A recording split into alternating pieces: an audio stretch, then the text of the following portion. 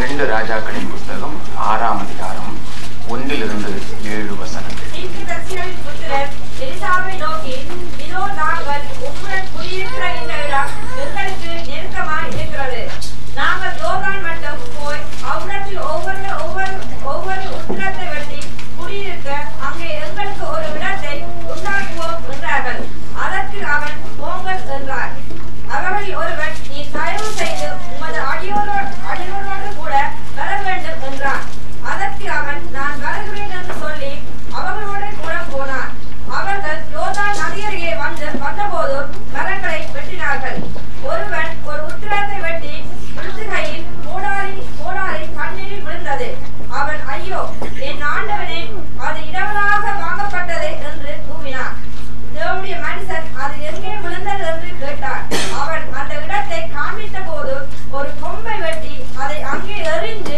அந்த இரும்பை மிருக மிரக்க பண்ணி அதை எடுத்துக்கொள் என்றான் அப்படியே அவன் அந்த- தன் கையை நீட்டி அதை எடுத்துக்கொண்டான் சரி, கண்களை மூடி நாம் ஜெபம் பண்ணலாம் எங்களை நேசிக்கிற கிருபியுள்ள கர்த்தாவே இந்த ராத்திரி வேலைக்காக உம்மை நன்றியோடு நாங்கள் துதிக்கிறோம் என்ன நோக்கத்தோடு நீர் எங்களை இன்றைக்கு அழைத்து வந்தீரோ அந்த நோக்கங்கள் நிறைவேற நீர் எங்களுக்கு கிருபை செய்யும். கர்த்தாவே உடைய கிருபியுள்ள கரங்களிலே எங்களை நாங்கள் சமர்ப்பிக்கிறோம். எங்களோடு பேசும் எங்களை வழிநடத்தும். இந்த உலகத்திலே நாங்கள் உங்களுடைய வசனத்தின்படி ஜீவிக்க நாங்கள் ஆசைப்படுகிறோம். வசனத்தை விட்டு விலகாதபடி தேவரீர் சொன்னபடியே நாங்கள் நடக்க எங்களுக்கு உதவி செய்யும். இன்றைய ராத்திரி கூட்டத்தை நீர் ஆசீர்வதியும் இயேசுகத்துடைய கருவியுள்ள நாமத்திலே தாழ்மையோடு விண்ணப்பம் பண்ணுகிறோம். பரிசுத்த பிதாவே. வாசிக்கப்பட்ட இந்த பகுதியில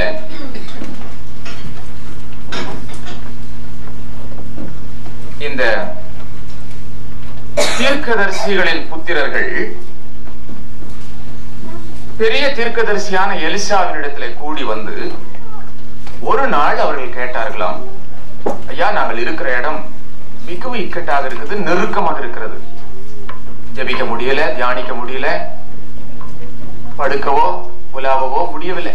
ஆகவே கூட்டம் நிறைய ஆகி போச்சு. ஆகவே நாங்க தனியா வேறொரு இடத்துல போய் நல்ல விசாலமான இடத்துல நாங்கள் கூடாரத்தை போட்டுக்கொள்ள எங்களுக்கு நீங்க ஏதாவது அனுமதி கொடுக்கணும். உடனே எலிசாவும் அனுமதி கொடுக்கிறார். எல்லாரும் உடனே யோர்தான் நதி பக்கத்துல கூடாரம் போக போடுறாங்க. ஆனா ஒரே ஒருவன் மாத்திரம் நாங்கள் ஊழியக்காரர்களாக இருந்தாலும் நீர் எங்களுடைய குரு எங்களுடைய மூத்த தீர்க்கதரிசி. நீர் வராமல் நாங்கள் அங்கு போக மாட்டோம். அது எந்த வேலையானாலும் சரி. நீங்கள் எங்களோடு கூட இருக்க வேண்டும் என்று கேட்டார். கர்த்தருடைய வசனத்தின்படி கர்த்தருக்கு முதல் ஸ்தானம் கொடுக்க இன்னைக்கு நிறைய பேருடைய வாழ்க்கையில பிரியப்படுகிறது இல்லை ஒரு நிலைமை உயர்ந்துருச்சுன்னா போதும். உயர்த்தி விட்டவங்களை எல்லாம் விட்டுருவாங்க. ஆகவே அப்படிப்பட்ட ஒரு சூழ்நிலையில ஓ எனக்கு இப்பொழுது பரிசுத்தாவினுடைய அபிஷேகம் கிடைச்சாச்சு இப்போ பிரசங்கம் பண்ற வரமை கிடைச்சாச்சு அவ்வளவுதான். என்னை யாரும் கட்டுப்படுத்த முடியாது. இப்படிப்பட்ட நிலைமையில ஆரம்பத்திலே நம்மளை வழிநடத்தின அநேக அஹ், கர்த்தருடைய பிள்ளைகளை மறக்கிறவர்கள் தாராளமான பேர் உண்டு ஏராளமான பேர் உண்டு. இவன் சொல்றான் எனக்கு எல்லாம் இருக்குது நானும் ஒரு தீர்க்கதரிசி தான் ஆனா நீங்க எனக்கு கூட இருக்கணும். நான் தனியா போற வரைக்கும் பரவாயில்ல. ஆனா நீ நாங்க இங்க இருக்கும்போது நீங்க இங்க இருக்கும்போது நீங்க எங்க கூடவே இருக்கிறது தான் நான் பிரியப்படுறேன். எல்லாரும் போயிட்டாங்க ஆனா இவனுக்கு அந்த அந்த எண்ணம் வரல. இவர் கூட வந்தாதான் நான் வருவேன். அப்படி அவன் அழைத்து அவன் கூட வந்தது நிமித்தமாக அங்க ஒரு பெரிய அற்புதமே நடந்தது. அந்த அற்புதத்தை தான் நம்ம பின்னாடி வாசிச்சோம் வாசித்தது கேட்டோம். முதல்ல சில காரியத்தை நம்ம சிந்திப்போம்.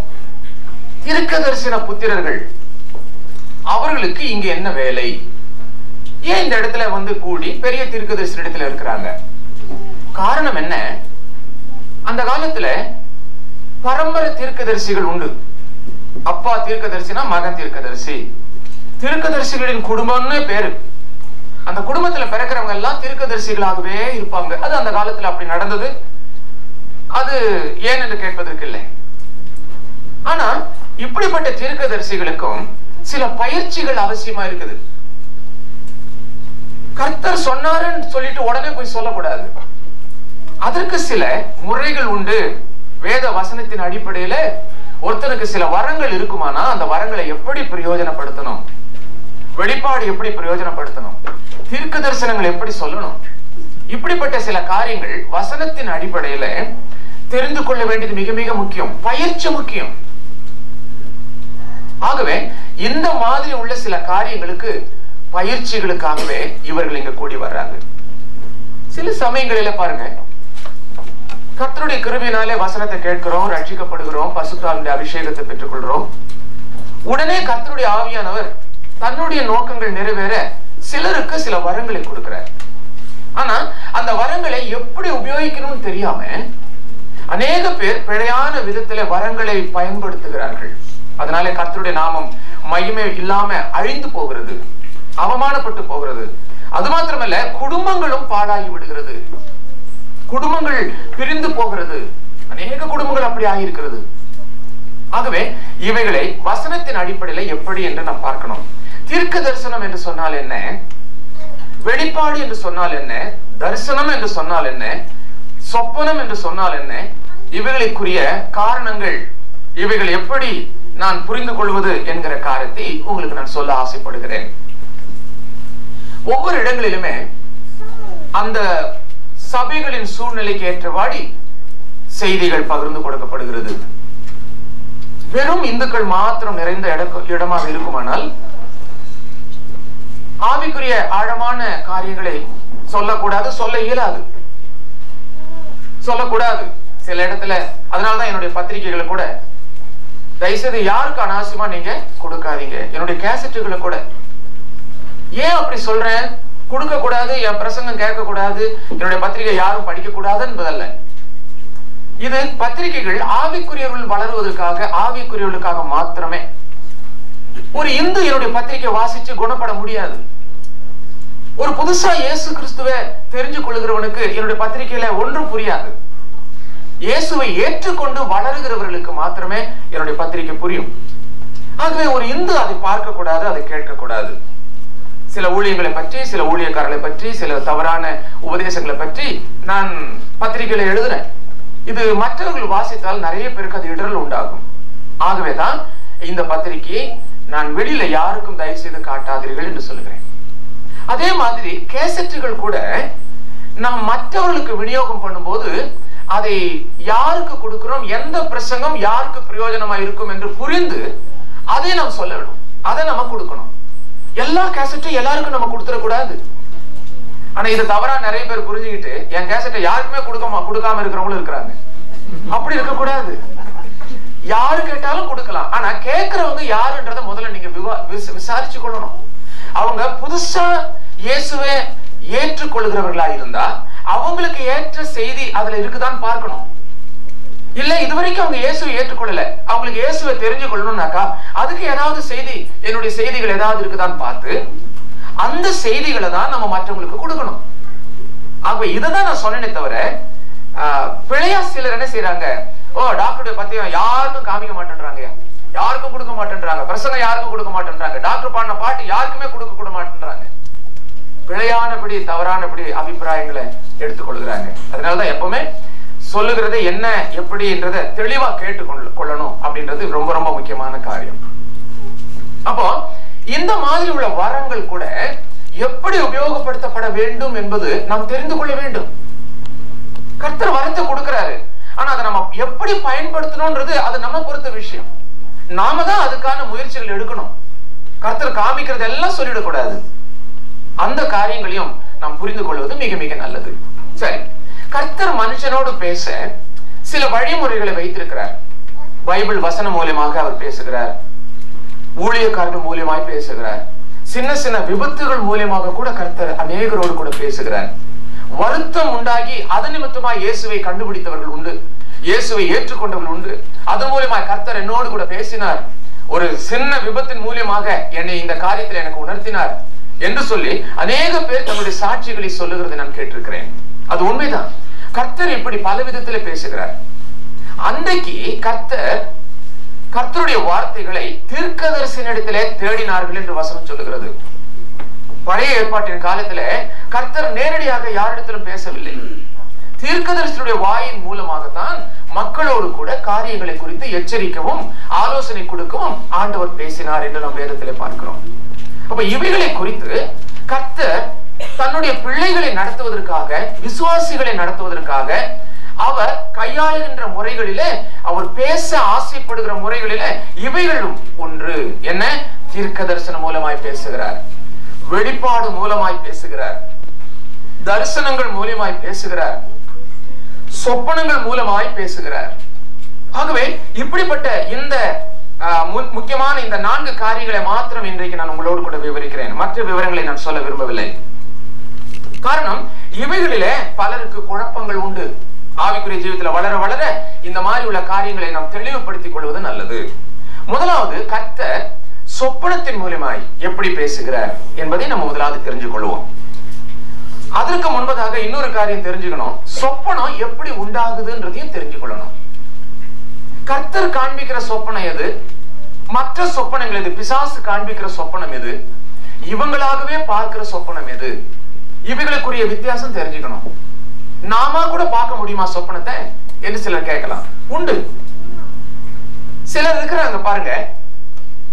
தினம் சொப்பனம் பார்க்கறவங்க இருக்கிறாங்க. உங்களுக்கு தெரியுமா? தெரியலையோ? தெரியல. சில ஒரு சகோதரன் என்னிடத்துல வந்து தன்னுடைய மனைவியை கூட்டிட்டு வந்தாங்க ஜெபம் பண்ண. என்னன்னா இவளோட பெரிய தொந்தரவுங்க. தினம் ஒரு கதை கதையா சொல்றா இவன் தினம் ஒரு சொப்பனத்தை பாத்துறது. அடுத்த நாள் காலையில வந்து பாருங்க நேத்து பார்த்த மாதிரி இல்லை இது. இது கொஞ்சம் வித்தியாசமானது. கேளுங்களேன் நான் அந்த மரத்து பக்கம் போனேனா? அப்படின்னு ஆரம்பிப்பாங்க. இது ஒரு பெரிய தொல்லையா போச்சுங்க. அதனால இவ கதையே எனக்கு கேட்க எனக்கு இஷ்டம் இல்லை நீ முதல்ல இவ சொப்பனத்தை நீங்க நிறுத்தணும். அதுதாங்க நாங்க கூட்டிட்டு வந்தேன்னு சொல்றோம் அப்போ சிலருக்கு தினசரி சொப்பனம் பார்க்கிறவர்கள் உண்டு. எப்படி இந்த தினசரி சொப்பனம் வருது? யாருக்கு தினம் தினம் சொப்பனம் வரும் தெரியுமா? தினம் சொப்பனம் வர்றவங்களுக்கு எப்பவுமே இந்த வயித்துல அஜீரண கோளாறு யாருக்கெல்லாம் இருக்குதோ தினம் சொப்பனம் பார்ப்பாங்க. வயிற்றுக்குள்ளே குழப்பம் இருக்கிறவர்கள் அவர்களுக்கு ராத்திரியிலே சொப்பனம் வரும். ஏன் அப்படி சொப்பனம் வருது அப்படின்னா இப்போ ராத்திரி ஆகாரத்தை கூடிய வரைக்கும் இதுக்கு ஒரு சில ஒழுங்குமுறைகளை நம்ம தெரிஞ்சு கொள்ளணும் ஜீரண சக்தி குறைவாக இருந்ததுன்னா அல்லது அஜீரணம் ஏற்படுகிற அடிக்கடி உள்ள வயிறா இருக்குமானா அவர்களுக்கு இந்த சொப்பனங்கள் வருது. அது எப்படி வருது? ராத்திரியில சாப்பிட்ட உடனே படுக்க கூடாதுன்னு அதுக்கு தான் சொல்றது. எப்பவுமே சாப்பிட்டதுக்கு பிறகு படுக்கைக்கு போக ஒரு மணி நேரம் அல்லது எடு- இரண்டு மணி நேரம் இடைவெளி இருப்பது மிக மிக நல்லது. அதனாலதான் நம்ம கனடாவில் அமெரிக்காவில் இருக்கிற அஹ், வெள்ளைக்காரர்கள் அவருடைய உணவு முறைகளை நீங்க பாத்தீங்கன்னா டின்னர் எப்ப சாப்பிடுறாங்க? ஆறுல இருந்து ஏழு மணிக்குள்ள சாப்பிட்டுருவாங்க. அதுக்கு பிறகு குடும்பமா உட்கார்ந்து கதைப்பாங்க. பத்திரிக்கை வாசிப்பாங்க பேப்பர் வாசிப்பாங்க புஸ்தகங்கள் வாசிப்பாங்க குடும்பமா உட்கார்ந்து பேசுவாங்க. அதுக்கப்புறம் ராத்திரி படுக்க போகும்போது லைட்டா ஏதாவது பாலோ ஹார்லிக்ஸோ போன்விட்டாவோ ஓவலோ ஏதாவது ஒண்ணு குடிச்சிட்டு அப்புறமேல படுத்துக்குவாங்க. இந்த முறை மிக நல்ல ம- நல்ல முறை அது. ஏன் இந்த முறை நல்லது என்று சொல்லுகிறேன்? வைத்திய முறையிலே சாப்பிட்ட உடனே சாப்பிடுகிற இந்த ஆகாரம் சிறு குடலுக்கு போவதற்கு ஒன்று அல்லது ரெண்டு மணி நேரம் ஆகும். யாராவது விஷம் குடிச்சிட்டாங்கனாக்கா ஒரு மணி நேரத்துக்குள்ள வந்தா வயிற்றுல இருக்கிற விஷத்தை நாங்க மருந்து கொடுத்து வயிற்ற வாஷ் பண்ணி வாய் வழியா அந்த பம்ப் பண்ணி வெளியே அந்த விஷத்தை நாங்க எடுத்துடலாம். ஒரு மணி நேரத்துக்குள்ள வந்தா. ஏன்? சாப்பிட்ட பொருள் சிறுங்குடலுக்கு இன்னும் போகல. ஒன் ஹவர் அது பைக்குள்ளேயே இருக்குது. ஆனா கேட்போம் எவ்வளவு நேரம் ஆச்சுங்க விஷம் குடிச்சு? ஒன்றரை மணி நேரத்துக்கு மேல ஆயிடுச்சுங்க ரெண்டு மணி நேரம் ஆயிடுச்சு. அப்படியா? ரைட் இப்ப வயிற்று வாய் வழியா எடுக்க முடியாது. பேதி கொடுத்து பேதி வழியா தான் எடுப்போம். ஏன்னாக்கா வயிற்றுல இருக்கிற இந்த ஆகாரம் ஒரு மணி நேரத்துக்கு உள்ள பிறகு அது சிறுகுடலுக்கு போயிடும். அது போகிறது நல்லது. அப்போ சாப்பிட்ட உடனே படுக்கிறதுனால என்ன ஆகுது? சாப்பிட்ட பொருள் அப்படியே வயித்துல இருக்குது. இன்னும் அது குடலுக்கு போகவே இல்லை. நீ படுத்துடுற உடனே தூங்கிடுற. கண்ணு மூடியாச்சு கை கால் எல்லாம் தளர்ந்து எல்லாமே தூங்குதுங்க. சரீர உறுப்பு எல்லாம் தூங்குது. இயக்கு தசை எங்கா தசைன்னு ரெண்டு உண்டு. அஹ், இந்த சரீரத்துல. நீ விரும்பினாலும் விரும்பாட்டாலும் இயங்கிக்கிட்டே இருக்கிற ஒரே ஒரு உறுப்பு இருதயம் ஒண்ணுதான். இல்லையா? மற்றதெல்லாம் நீ கை தூக்கணும்னு நினைச்சா தூக்கலாம் இறக்கணும்னு நினைச்சா இறங்கலாம். இது வந்து இயக்கு தசைன்னு பேரு. இயங்கா தசைன்னு சொல்றது இந்த இருதயம். அப்போ இது நீ நீ ஓய்ஞ்சு இருக்கிற மாதிரி இந்த இருதயத்துக்கு ஒரு ரெஸ்ட் வந்துச்சுன்னா அப்புறம் ஐயரு பாஸ்ட் தான் வரணும் உனக்கு. இல்லையா? அதுதான் இயங்கா தசை. அது எப்பவுமே இயங்கிக் கொண்டே இருக்கும். அதே மாதிரி இந்த சரீர உறுப்புகள் எல்லாம் ஓய்வு பெற்றதுக்கு பிறகு மூளையும் ஓய்வு பெறணும். அதுதான் சரியான ஒழுங்குமுறை.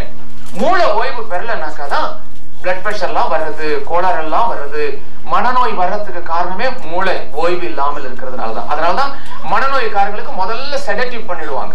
செடட் டேப்லெட் கொடுத்துருவாங்க ட்ராங்குலைசர் கொடுத்துருவாங்க தூங்க வச்சிருவாங்க. இப்போ இப்படி ஓய்வு மூளைக்கும் அவசியம். சரீரத்துக்கு ஓய்வு இருக்கிறது போல மூளைக்கு அவசியம். ஆனா சாப்பிட்ட உடனே படுத்தாச்சுன்னு வைங்க. அப்போ எல்லாம் தூங்குது.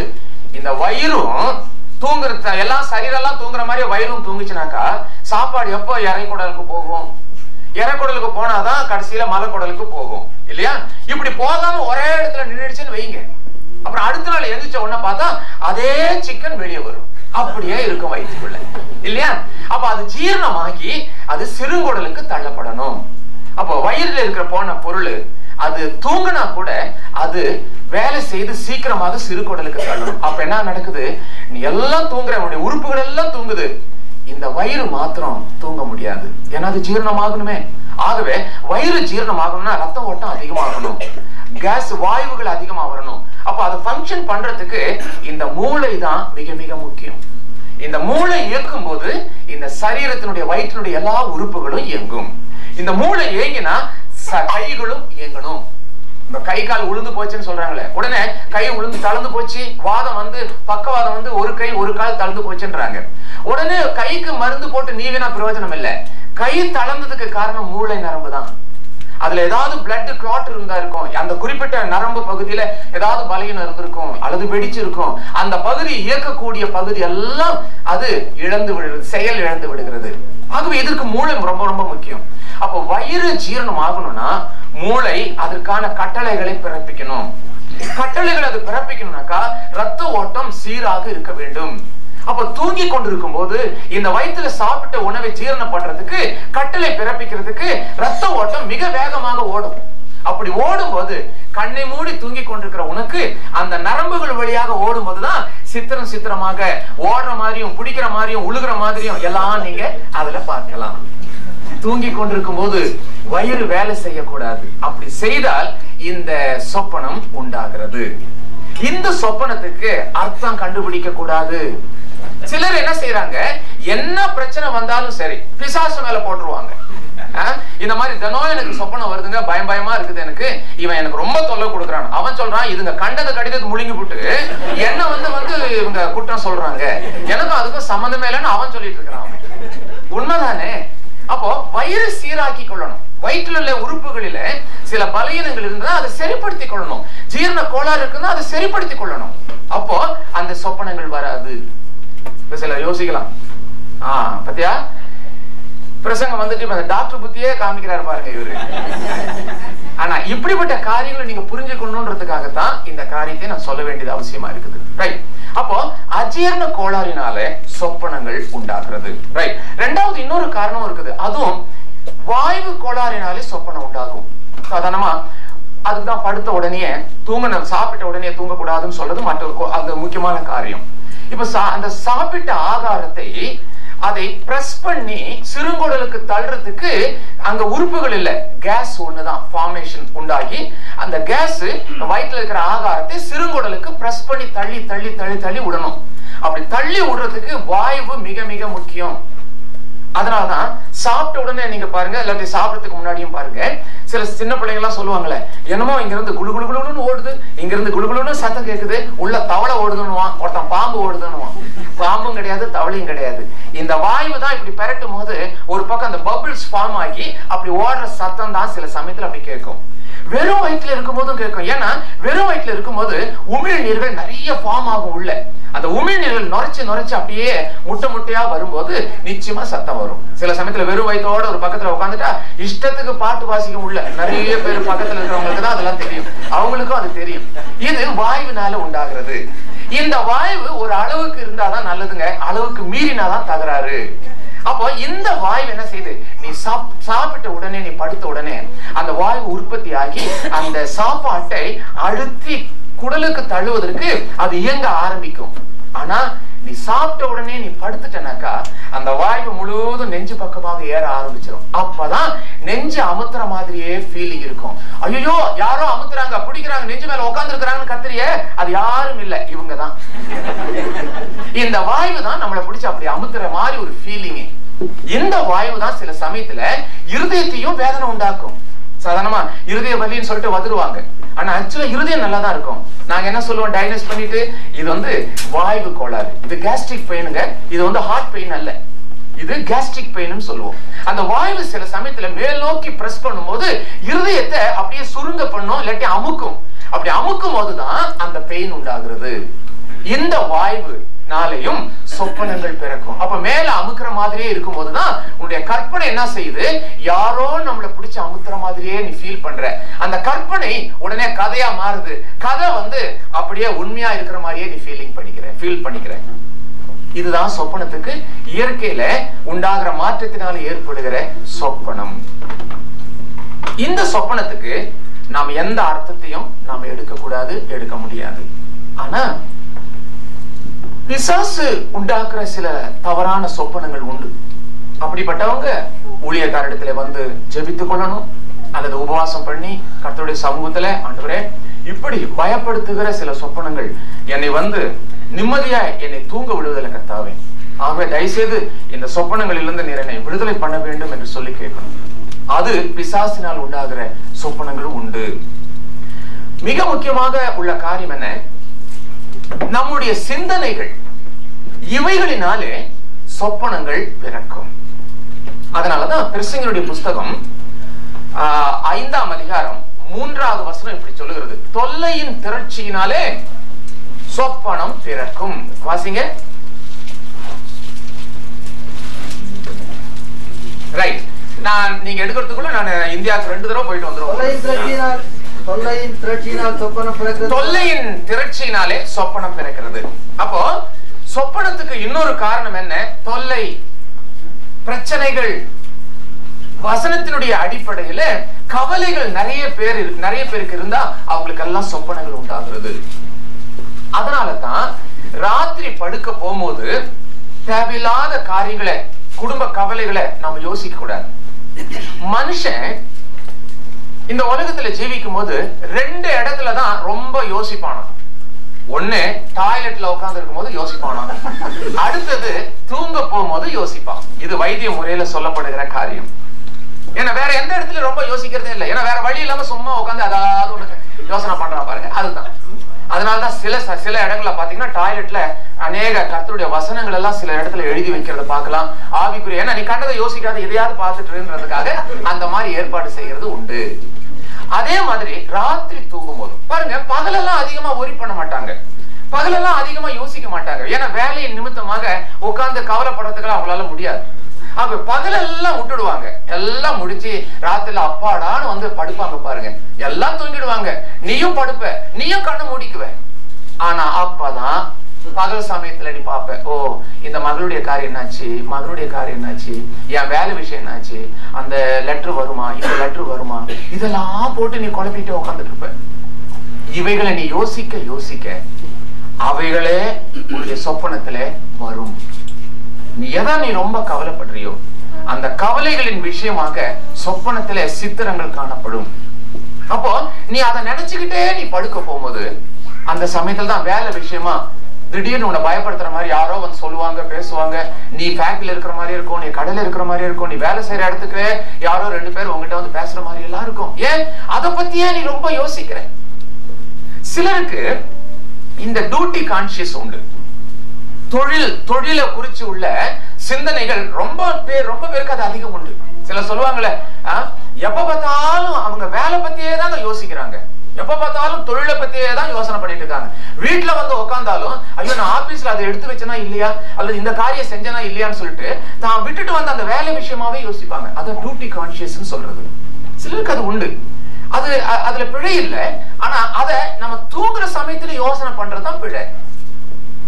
எங்க மலை ஊழியத்துக்கு நாங்க மலை ஊழியத்துக்கு போகும்போது எங்களோட கூட நிறைய ஊழியக்காரங்க வருவாங்க. விசுவாசிங்க வருவாங்க. ஆதிவாசிகளுக்கு மத்தியில ஊழியம்.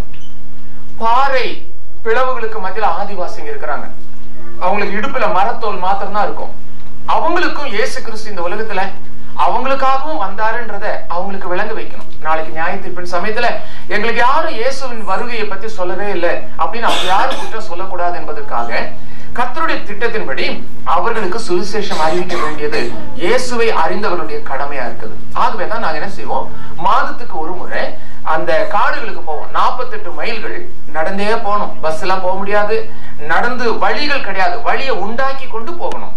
ஒவ்வொரு பாறை அடையாளத்திலையும் மலைகளுக்குள்ளேயும் அப்படிதான் இருப்பாங்க. அப்படி போகும்போது ராத்திரியில நாங்க எங்கேயாவது மரத்து மேலதான் நாங்க தங்குவோம்.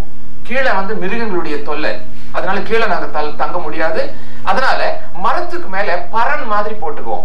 மர கிளைகள் எல்லாம் வெட்டி ஒண்ணுக்கு பக்கம் ஒண்ணு வச்சு கட்டி கட்டி கட்டி பரன் மாதிரி பரப்பிட்டு அதன் மேல உட்காந்து தூங்கிக்குவோம். படுத்து தூங்க முடியாது. கால் நீட்டி தூங்க முடியாது. ஏன்னா பத்து பதினெட்டு பேர் போ- போறோம். அவ்வளவு பேரும் கால் நீட்டி படுக்கக்கூடிய அளவுக்கு வசதியா நாங்க செய்ய முடியாது. ஆகவே சிறிய பரன் தான் உண்டாக்குவோம். அந்த பரன்ல உக்காந்துகிட்டே தூங்குறது. இந்த கோழி தூக்கம்னு சொல்லுவாங்க தெரியுமா? கோழி தூக்கம்னா உட்காந்துக்கிட்டே தூங்குறது. அது அது அதை பத்தி நீங்க சந்தேகப்பட வேண்டாம் குழப்பப்பட வேண்டாம். நம்ம சபையிலேயே சிலர் இருப்பாங்க. உங்களுக்கு தெரியுமோ தெரியலையோ தெரியல. ஆஹ், எத்தனையோ ஆயிரக்கணக்கான திருச்சபைகளை நான் இந்தியாவிலையும் வெளிநாட்டிலையும் எல்லா இடத்துலயும் பாக்குறேன் இந்த தூங்கறதுக்குன்னே வர்றவங்க சிலர் இருக்கிறாங்க. அவங்க எந்திரினா எந்திரிப்பாங்க உட்காருனா உட்காருவாங்க பாடுனா பாடுவாங்க வசனம் எடுனா கூட எடுத்துருவாங்க. இவங்க தூங்குறதுக்குன்னே ஒரு நேரம் இருக்குது. அது எந்த நேரம் தெரியுமா உங்களுக்கு? பிரசவம். பத்தியா இங்கேயும் இருக்காங்க உடனே பதில் வருது. அவ இங்கேயும் யாரோ இருக்கிறாங்க. வழக்கமா வளமையா தூங்குறவங்க. சாதாரணமா அப்படிப்பட்டவங்க உட்கார்றவங்க எல்லாம் பாத்தீங்கன்னா பெஞ்சு ஓரத்துல செவுரு ஓரத்து இப்போ உட்காந்தவங்கள சொல்லல. இப்போ உட்காந்தவங்கள சொல்லல நானு. அப்பா நினைச்சு கொள்ளாதீங்க பிழையா நினைச்சு கொள்ளாதீங்க. அவங்க வசதியா ஏன் ஓரத்துல உட்காந்துக்கிறான்னா இப்படி தடிக்க விட்டாலும் பிடிச்சிக்கலாம் பாருங்க. அதுக்காக தான் அப்படி உட்காந்துக்கிறது. அப்போ அப்படிப்பட்டவங்க பாருங்க இந்த மாதிரி உள்ள தூக்கம். எப்போ? கர்த்தருடைய செய்தியை கொடுக்கிற சமயத்துல தூங்குவாங்க. நீங்க பாருங்க அவங்க கிட்ட பிரசங்கம் ஆரம்பிக்கும் போது தூங்குவாங்க. முடிக்கும் போது யாரும் அவங்களை எழுப்பவே வேண்டாம். அது எப்படித்தான் தெரியுதோ தெரியல. அது ஒரு கிருபன் தான் நினைக்கிறேன். தானாவே முடிச்சுக்குவாங்க தானாவே வாசத்துல இது வந்து வேணும்னு செய்யறது இல்லைங்க. அது ஒரு பலகீனம். அது ஒரு பலகீனம். அது கத்துடைய சமூகத்துல ஜெபம் பண்ணி தான் அதை நம்ம சரிப்படுத்திக்கணும். ஆண்டவரே உங்களுடைய வசனத்தை நான் வாசிக்கணும்னு தொடங்கும் போது எனக்கு தூக்கம் வருது. பைபிள் வாசிக்கணும்னு தொடங்கும் போது தூக்கம் வருது. உமோடு கூட ஜெபிக்கணும். என்னுடைய பிரச்சனைகள் எல்லாம் சொல்லணும் நான் முழங்கால் படிட்டா எனக்கு தூக்கம் வருது. உம்முடைய வசனத்தை கேட்டு பிரசங்கம் கேட்டு என்னுடைய வழியை செவ்வப்படுத்தணும்னு நினைச்சு ஆலயத்துக்கு போனாலும் பிரசங்க டைம்ல எனக்கு தூக்கம் வருது.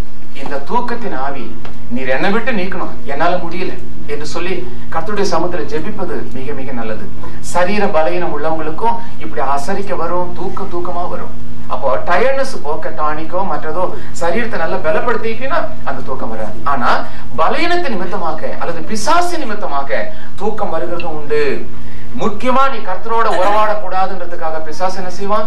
நீ ஜெபிக்கிற வேலையில தூக்கத்தின் ஆவி உண்டு பண்ணுவான். கர்த்தருடைய வசனத்தை நீ வாசிக்க கூடாது. அவர் சொல்லுகிறது நீ கேட்க கூடாதுன்றதுக்காக என்ன செய்வான்? பைபிளை திறந்த உடனே தூக்கத்தின் ஆவியை கொடுப்பான். அதே மாதிரி கர்த்தருடைய செய்தியை கேட்கிற சமயம் பார்த்து நீ நல்ல வசனம் கேட்டு பிரசங்கம் கேட்டு உன்னுடைய வழியை சரிப்படுத்தணும்னு நினைக்கும் போது அந்த சமயம் பார்த்து குழந்தை அழுகும் உன்னை வெளியே எடுத்துட்டு போயிடுவான். இல்ல உன்னை தூங்க வச்சிருவான். இப்படி ஏதாவது ஒரு காரியத்தை செஞ்சு முக்கியமான கட்டத்துல உன்னுடைய மைண்டை டைவர்ட் பண்ணிடுவான். இது ரொம்ப முக்கியம். பிசாசு செய்யற காரியம். ஆனா மனுஷ பலகீனத்திலையும் அந்த மாதிரி உண்டு. அது நம்ம கத்துக்கிட்டு தான் நம்ம ஜெபிச்சு அதை சரிப்படுத்திக் கொள்ளுகிறது நல்லது. ஆகவே இந்த மாதிரி உட்கார்ந்து தூங்குற சில அந்த பலகீனம் அது அதே மாதிரி அந்த காட்டுக்குள்ள நாங்க கால் நீட்டி தூங்க முடியாது. அந்த ராத்திரி முழுவதும் எல்லாரும் உட்கார்ந்து தூங்குவோம். அப்படி தூங்குற வேலையில ஒரு ஆளுதான் சென்றி மாதிரி காவல் காக்கணும். ஒரு மணி நேரத்துக்கு ஒரு ஆள். ஒவ்வொருத்தரும் எழுப்பி விட்டுருவாங்க. எழுப்பி விட்டு இவங்க ஒரு மணி நேரம் காவல் காத்த உடனே மற்றவங்களை எழுப்பி விட்டுட்டு இவங்க அவங்க கடையில தடி ஒண்ணு கொடுத்துட்டு அவங்க படுத்துருவாங்க. இப்படி ஒரு மணி நேரத்துக்கு ஒரு தடவை ஒவ்வொருத்தரும் காவலாளியா அங்க இருக்கணும். இவங்க கையில ஒரு தடியும் கொடுத்துருவாங்க. ஏன் காவலாளியா அப்படி இருக்கணும் அப்படின்னாக்கா இவங்க கையில தடி ஏன் கொடுக்குறாங்கனாக்கா மிருகங்கள் தூரத்துல வர்றத பார்த்த உடனே சொல்லணும். கிட்ட வந்தோடனே டே டே கத்தப்படக்கூடாது தூரத்துல வரும்போதே தெரியும். யானை ஏதாவது வந்துச்சுன்னா மரம் செடி கொடிலாம் படப்படப்படன்னு உடையிற சத்தம் கேட்கும். அப்ப தூரத்துல சலசலப்பு கேட்கும் போது உடனே எங்களை அலர்ட் பண்ணணும். அதுக்காக ஒரு ஆள் முழிச்சிருக்கணும். கையில ஏன் தடி அப்படின்னா நிறைய பாம்புகள் மரத்து மேல ஏறும். அதை இவன் தான் தள்ளி தள்ளி விடணும். அதுலட்டி தட்டி தட்டி விடணும். தட்டினா அந்த சத்தம் கேட்டோம்னு கீழே இறங்கிடும். அவன் தள்ள வேண்டியது அவசியம் இல்லை. ஆகவே இதுக்காகவே ஒரு ஆளு காவலா இருந்துகிட்டே இருக்கணும். ஒவ்வொரு மணி நேரத்துக்கு ஒரு தடவை. அதே மாதிரி பதினெட்டு பேர் நாங்க இருக்கிறோம். அல்லது பதினஞ்சு பேர். ஒவ்வொரு முறையும் அப்படி போகும்போது அப்படி கூட்டிட்டு போவோம். அப்போ என்னுடைய டேர்ன் வந்துச்சு. என் கையில தடி கொடுத்துட்டு அவன் தூங்கிட்டான். இன்னொரு ஆள். இப்ப எல்லாரும் தூங்கிட்டு இருக்கிறாங்க. அந்த தூங்குற வேலையில அப்பதான் ஒவ்வொருத்தரும் தூங்குற முறை விதவிதமான சத்தம் கேக்குது ஒவ்வொருத்தங்கிட்டையும். விதவிதமான சத்தங்கள் கேக்குது. ஒவ்வொருத்தருடைய கொரட்டையும் எல்லாம் விதவிதம். அப்பதான் அசந்து தூங்குற ஒரு ஆள். அந்த ஆள் ஒரு டெலிபோன் ஆபரேட்டர் அங்க கவர்மெண்ட்ல டெலிபோன் ஆபரேட்டரா வேலை செய்யறவர் அவர் நல்ல உற்சாகமுள்ள ஊழியர்காரு அவர் இயேசுவை அறிவிக்க என் கூட வரேன்னு வந்தவர். அங்க அசந்து தூங்கிட்டாரு. தூங்குற வேலையிலயும் hello hello Perumavoor Perumavoor hello hello hello. காட்டுக்குள்ள ஊழியத்துக்கு வந்தவர் இங்க எங்க ஹலோ ஹலோன்னு கூப்பிடுறது? இதுதான் டியூட்டி கான்சியஸ் ஊழியத்துக்கு வந்தாலும் தான் வேலையை மறக்கிறது இல்ல வேலை விஷயத்த மறக்கிறது இல்ல நான் லீவ் எழுதிட்டு போட்ட வந்தேன். அவன் கொடுத்தானா கொடுப்பானா கொடுக்க மாட்டானோ திரும்பி என்ன வேலை சேர்த்துக்குவானோ இந்த எண்ணங்கள் தூங்குற சமயத்துல அவன் யோசனை பண்ணிக்கிட்டே படுத்திருப்பார். அதுதான் அப்படி வருது. பஸ்ல வேலை செய்யற அந்த கண்டக்டருங்களா இருக்கிறாங்க பாருங்க. இங்க அந்த மாதிரி இல்ல. நம்ம ஊர்ல கண்டக்டருங்க இருப்பாங்க பாருங்க. அவங்க விசுவாசிங்க ரட்சிக்கப்பட்ட விசுவாசிங்க. அந்த குடும்பத்துல இருக்கிறவங்க சொன்னதை நான் கேள்விப்பட்டேன். அவங்க சொல்றாங்க என் புருஷன் பாருங்க வீட்டுல எல்லாரும் படுத்து தூங்கிட்டு இருக்கிறாங்க. ராத்திரி ரெண்டு மணிக்கு புருஷன் தூங்கினாலும் ரெண்டு மணிக்கு மேல டிக்கெட் டிக்கெட் டிக்கெட் டிக்கெட் யாருக்கிட்ட டிக்கெட் கேக்குறான்? பொண்டாட்டிக்கிட்ட கேக்குறானா? கிட்ட கேக்குறானா? டியூட்டி கான்ஷியஸ் தான் பகல்ல வேலை செய்யற அதே காரியத்தை யோசனை பண்ணிட்டே படுக்கிறதுனால அவைகளே சொப்பனத்தில் வந்து விடுகிறது. ஆகவே நாம் எதை பகலிலே அதிகமாக யோசிக்கிறோமோ அவைகள் சொப்பனத்துக்குள் கடந்து வருது. அப்போ கர்த்தருடைய பிள்ளைகள் என்ன செய்யணும்? நாம் எவைகளையும் அதிகமாக யோசிக்க கூடாது. யோசிக்கிற காரியங்கள் சொப்பனத்துல வருது. அதனாலதான் ராத்திரி நேரத்துல படுக்க போகும்போது ஜெபம் பண்ணிட்டு பைபிள் வாசிச்சு அப்புறம் படுக்கணும்னு சொல்றது. சாதாரணமா பைபிள் வாசிச்சு ஜெபம் பண்றதுதான் ஒழுங்கு அதான் முறை. ஆனா ராத்திரி மாத்திரம் என்ன செய்யணும்? ஜெபம் பண்ணதுக்கு அப்புறம் பைபிள் வாசிக்கணும். ஏன் முதல்ல ஜெபம் பண்ண சொல்றேன் காரணம் நாம இப்போ முதல்ல பைபிள் வாசிச்சிட்டோம்னு வச்சுங்க ரொம்ப நேரம் வாசிக்கிறோம். எவ்வளவு நேரம் தெரியாம சில சமயத்துல ஒரு சில விஷயங்களை நம்ம அறியணும்னு ஆசைப்படும் போது ரொம்ப நேரம் பைபிள் வாசி டைம் ஸ்பெண்ட் பண்ணிடுவோம். பைபிளை எப்ப மூடி வைப்போம்? தூக்கம் வர்ற மாதிரி இருந்ததுன்னா உடனே பைபிளை மூடி வச்சுட்டு தூங்குறதுக்காக முன்னாடி ஜெபம் பண்ணுவோம். அப்ப என்ன ஆகும்? தூக்க கலக்கத்தோடு ஜெபம் பண்றதுனால ஜெபத்தை சுருக்கிக்குவோம். ஜெபத்தை சுருக்கிக்கிட்டனாக்கா அப்புறம் சுருக்க ஜபத்திலே நம்ம படுக்கிறோம். ஆசீர்வாதத்தை இழந்துடுறோம். ஜெபம் நீண்டு போலாம் பைபிள் குறையலாம். ஆனா ஜெபம் குறையக்கூடாது. ஜெபம் எவ்வளவு வேணாலும் நீண்டு போகணும். அது அவ்வளவு ஆசீர்வாதம். அதனாலதான் தூக்கம் வரத்துக்கு முன்னாடி நல்லா ஜெபம் பண்ணிடுங்க. எவ்வளவு நேரம் ஜெபிக்க முடியுமோ அவ்வளவு காரியத்துக்கும் ஜெபம் பண்ணிடுங்க. ஆனா அதுக்கப்புறமேல பைபிளை எடுத்து வாசிங்க. அது வாசிக்கிறது குறைஞ்சா கூட பரவாயில்லை ஆனா ஜெபம் குறையக்கூடாது அடுத்த காரணம் என்ன? ஏன் கடைசியில பைபிள் வாசிக்க சொல்றேன் அப்படின்னாக்கா இப்போ நாம என்ன செய்யறோம் ஜெபம் பண்ணி முடிச்சதுக்கு அப்புறம் நம்ம கண்ணை மூடி நம்ம தூங்குறோம். தூங்குறதுக்கு முன்னாடி நிச்சயமா யோசனை பண்றோம். பல விஷயங்களை குறித்து யோசிக்க வேண்டி வரும். அவைகளை மாற்றுவதற்காக இப்ப என்ன செய்யறோம் பைபிள் வாசிச்ச உடனே அதை குறித்து யோசித்து கொண்டே படுத்தினாக்கா தேவையில்லாத சிந்தனைகள் நமக்கு வராது. வாசித்த பகுதியை நம்ம ரீகலெக்ட் பண்ணணும். அதை அப்படியே யோசிக்கணும். அப்படி யோசிக்க யோசிக்க அந்த ராத்திரி நீ படுத்து தூங்கும் போது அந்த தூக்கம் ரொம்ப இனிதாக இருக்கும் சமாதானமா இருக்கும். தெய்வ தூதர்கள் வருகிறதும் போகிறதுமான பல காரியங்களை நீங்க பார்க்கலாம். ஏன்னா படுக்கிறதுக்கு முன்னாடி நீ எதை நீ அதிகமா சிந்திச்சியோ அதுதான் சொப்பனத்தில் வருகிறது. ஆகவே படுக்கைக்கு முன்னாடி உன்னுடைய உன்னுடைய எல்லா பிரச்சனைகளையும் கத்தருடைய சமூகத்துல ஜெபத்துல வச்சிரு. உன்னுடைய கவலைகளை ஜெபத்துல வச்சிரு. ஒண்ணு பேர் அஞ்சாம் அதிகாரம் ஏழாவது வசனத்துல அவர் உன்னை விசாரிக்கிறவர் ஆனபடியால் உன் கவலைகளை அவர் மேலே வைத்து விடுங்கள் வைத்து விடுங்கள் என்று சொன்னா என்ன அர்த்தம்? வச்சுட்டு போ அப்படின்னு அர்த்தம். அப்ப நாம என்ன செய்யணும்? அந்த கர்த்தருடைய காரியத்துல பாதத்துல உன்னுடைய பிரச்சனைகள் வேதனைகள் பகல்ல உள்ள விஷயங்கள் நீ எதிர்பார்க்கிற காரியங்கள் நீ தபாலில எதிர்பார்க்கிற காரியங்கள் அல்லது உன்னுடைய வேலை விஷயம் உன்னுடைய குடும்ப விஷயம் உன்னுடைய பிள்ளை விஷயம் எல்லாம் கர்த்தருடைய சொல்லிடு. சுவாமி நானா ஒண்ணும் செய்ய முடியாது. நீர் தலையிட்டாதான் இந்த காரியத்துக்கெல்லாம் ஒரு மாற்றம் வரும். அப்படின்னு சொல்லிட்டு எல்லா பொறுப்புகளையும் அவருடைய கையில ஒப்படைச்சிரு. இப்போ நமக்கு ஒரு நிம்மதி. சொல்ல வேண்டியதை நான் சொல்லிட்டேன். கேட்க வேண்டியதெல்லாம் அவர் கேட்டுட்டார். அவர் சர்வ வல்லமை உள்ளவர். அவர் நல்லவர். அதனால நான் எல்லா காரியமும் அவர் நிச்சயமாக நல்ல விதமாக தான் எனக்கு செய்வார். இந்த நம்பிக்கையோட நீ என்ன பண்ற? அடுத்தது பைபிளை வாசிச்சுட்டு நீ படுத்து பாருங்க. குல குடும்ப காரியத்தை நீ யோசிக்க மாட்டேன். உன்னுடைய கவலைகளை குறித்து சிந்திக்க மாட்டேன். இந்த வாசித்த காரியத்தை குறித்தே சிந்திக்கணும். சிந்திக்க மாட்டேன் இல்ல சிந்திக்க வேண்டி வரும். நீ சிந்திக்காத. வாசிச்ச பகுதியை யோசனை பண்ணு. அதே யோசனை பண்ண பண்ண பண்ண அப்படியே தூங்கிடு. அது நல்லது. தேவையில்லாத காரியங்களை நீ யோசிக்கும் போது உனக்கு தூக்கம் வராது. நிறைய பேருக்கு ராத்திரி தூக்கம் வராம இருக்கிறதுக்கு காரணம் என்ன? அதிகமான யோசனைகள் அதிகமான திட்டங்கள் அதிகமான கவலைகள் இவைகள் அவர்கள் தூக்கத்தை கெடுக்கிறது. சாதாரணமா தூக்கத்துல ரெண்டு விதம் உண்டு. ஒண்ணு சவுண்ட் ஸ்லீப் மற்றொன்னு டிஸ்டர்பன்ஸ் ஸ்லீப்னு சொல்லுவாங்க. டிஸ்டர்பன்ஸ் ஸ்லீப்னா என்ன அர்த்தம்? கொஞ்ச நேரம் தூங்குவாங்க. பன்னெண்டு மணிக்கு மேல திடீர்னு முழிப்பாங்க. அப்புறம் ஒரு மணிக்கு மேல முழிப்பாங்க. சொல்லுவாங்களே நான் ராத்துல அடிக்கடி முடிக்கிறேங்க முழிச்சிட்டு ஒரு சின்ன ஜாம் பண்ணி நான் படுத்து தூங்கிடுவேன். படுத்தா உடனே எனக்கு தூங்கிடுவேன். ஆனாலும் அந்த மாதிரி எந்திரிச்சு உடனே நீ தூங்கினாலும் நித்திரை கொண்டாலும் அது சரீரத்துக்கு கேடு. அந்த மாதிரி தூக்கத்தின் சமயத்துல நடு நடுவுல நீ முழிப்பு வரக்கூடாது. அப்படி வந்துச்சுனாக்கா அந்த சவுண்ட் ஸ்லீப் டிஸ்டர்பன்ஸ் ஆயிடுது. தூக்கம் குறைய குறைய குறைய சரீரத்துல இருக்கிற ரத்த ஓட்டம் வேகம் அதிகமாகும். வேகம் அதிகமாச்சுன்னா டென்ஷன் கூடி போயிடும். டென்ஷன் கூடி போயிடுச்சுனாக்கா பிளட் பிரஷர்ல கொண்டு வந்து நிறுத்தும். அப்போ பிளட் பிரஷர் உள்ளவங்க எல்லாருக்கும் காரணம் என்ன? இந்த டென்ஷன் கூடுகிறதுனால தான் பிளட் பிரஷர் டென்ஷன் கூடுவதற்கு காரணம் என்ன? ராத்திரியில தூக்கம் இல்லை சரியானபடி தூங்குறது இல்ல ஏன் ராத்திரி தூங்குறது இல்ல அதிகமான யோசனை. எங்க வந்து நிக்குது பாத்தீங்களா? ஆகவே தான் உன்னுடைய கவலைகளை எல்லாம் கர்த்தர் மேல பேசாம வைத்திரு. அப்போ உன்னுடைய தூக்கம் நிம்மதியாக இருக்கும். சிலருக்கு எப்ப பார்த்தாலும் ராத்திரி படுக்க போகும்போது ஆபாச நினைவுகள் லஸ்டி தாட்ஸ் இவைகள் ராத்திரில ரொம்ப அதிகமா வருதும். அதை பத்தி அவங்க ரொம்ப யோசிக்க ஆரம்பிப்பாங்க. அதனால என்ன ஆகுது? அவங்களுக்கு தூக்கத்துக்கு கூட கெடுது. அவனால நிம்மதியா தூங்குறதுக்கே இல்லை. எங்க போனாலும் தூங்க மாட்டாங்க. அந்த யோசனை பற்றி அதிகமா யோசிக்கிறாங்க. பைபிள் சொல்லுது இல்லையா? துன்மார்க்கனுக்கு சமாதானம் இல்லை. அவனுக்கு நிம்மதியே இல்லை. துன்மார்க்கமான சிந்தனைகள் துன்மார்க்கமான யோசனைகள். இப்படிப்பட்டவங்களுக்கு நிம்மதி இருக்காது சமாதானம் இருக்காது தூக்கமும் இருக்காது.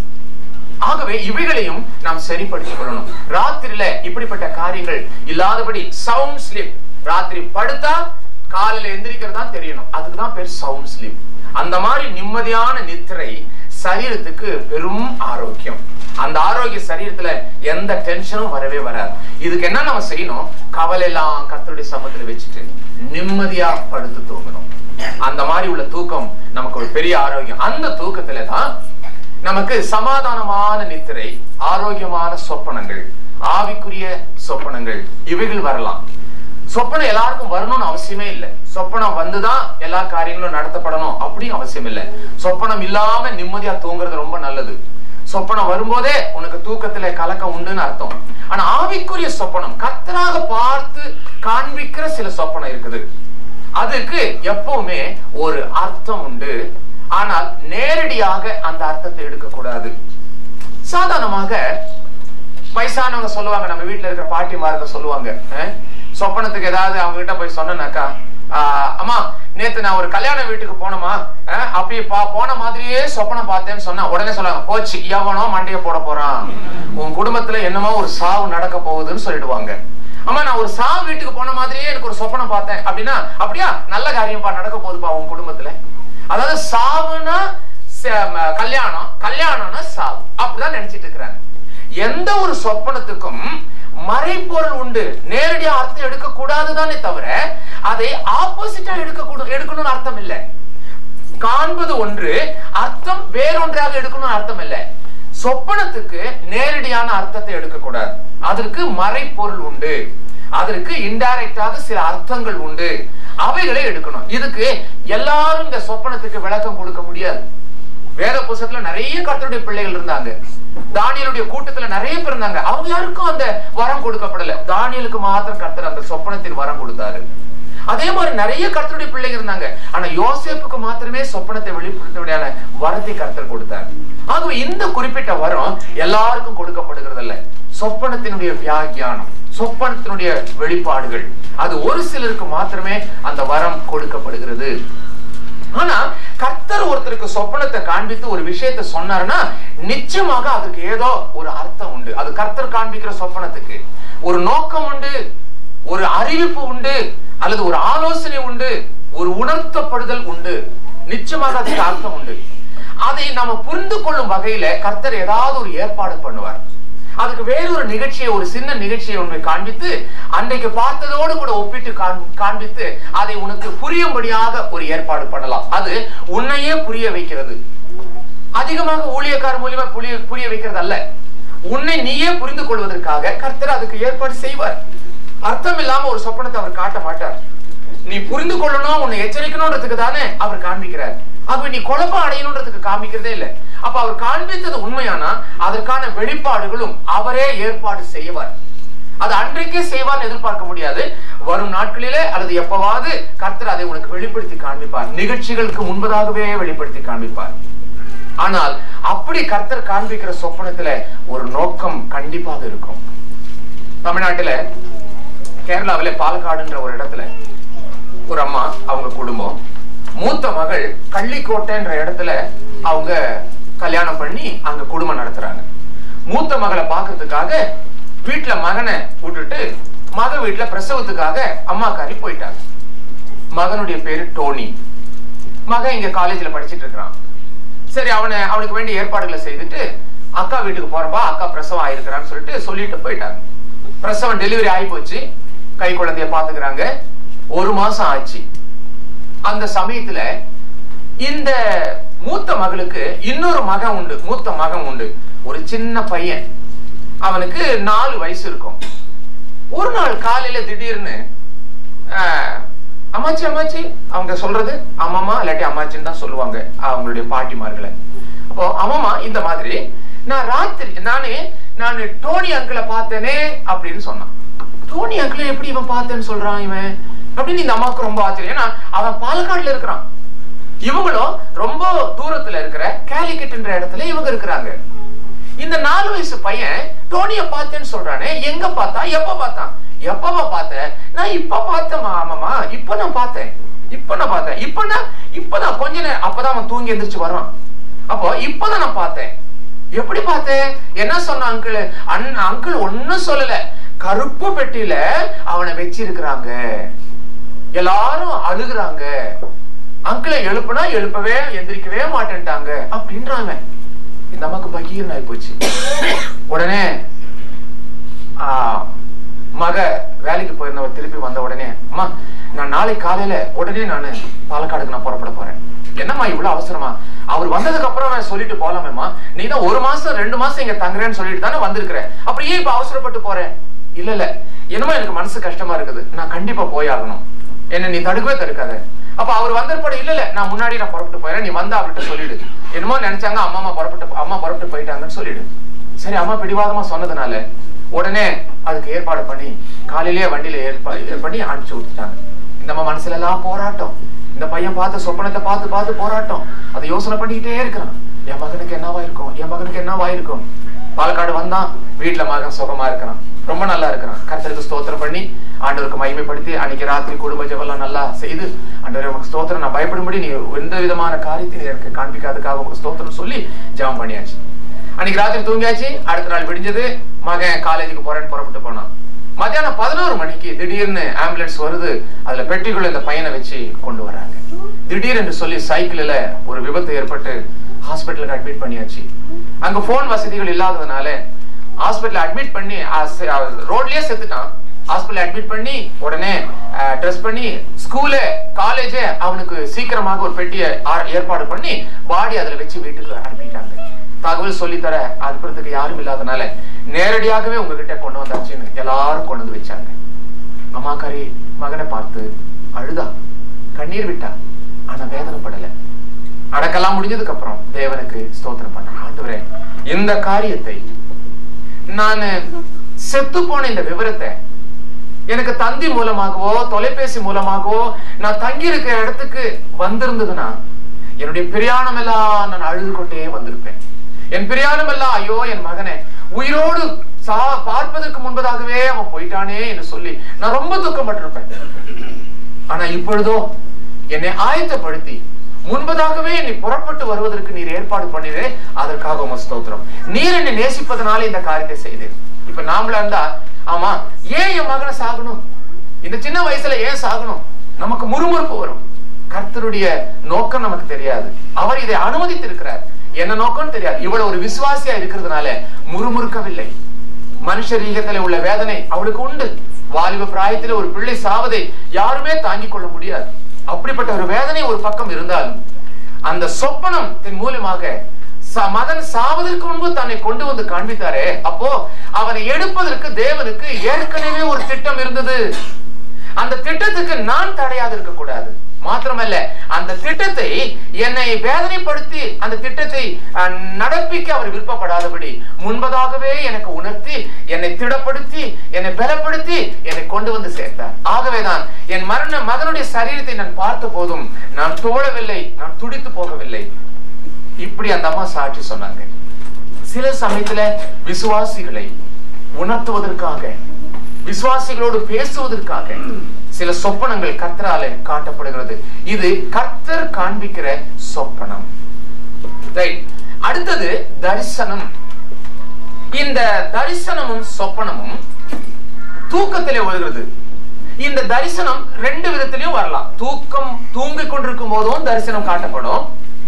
முடிஞ்சிட்டு இருக்கும் போதும் தரிசனம் பார்த்ததாக பைபிள்ல நீங்க நிறைய இடத்துல நீங்க பார்க்கலாம்.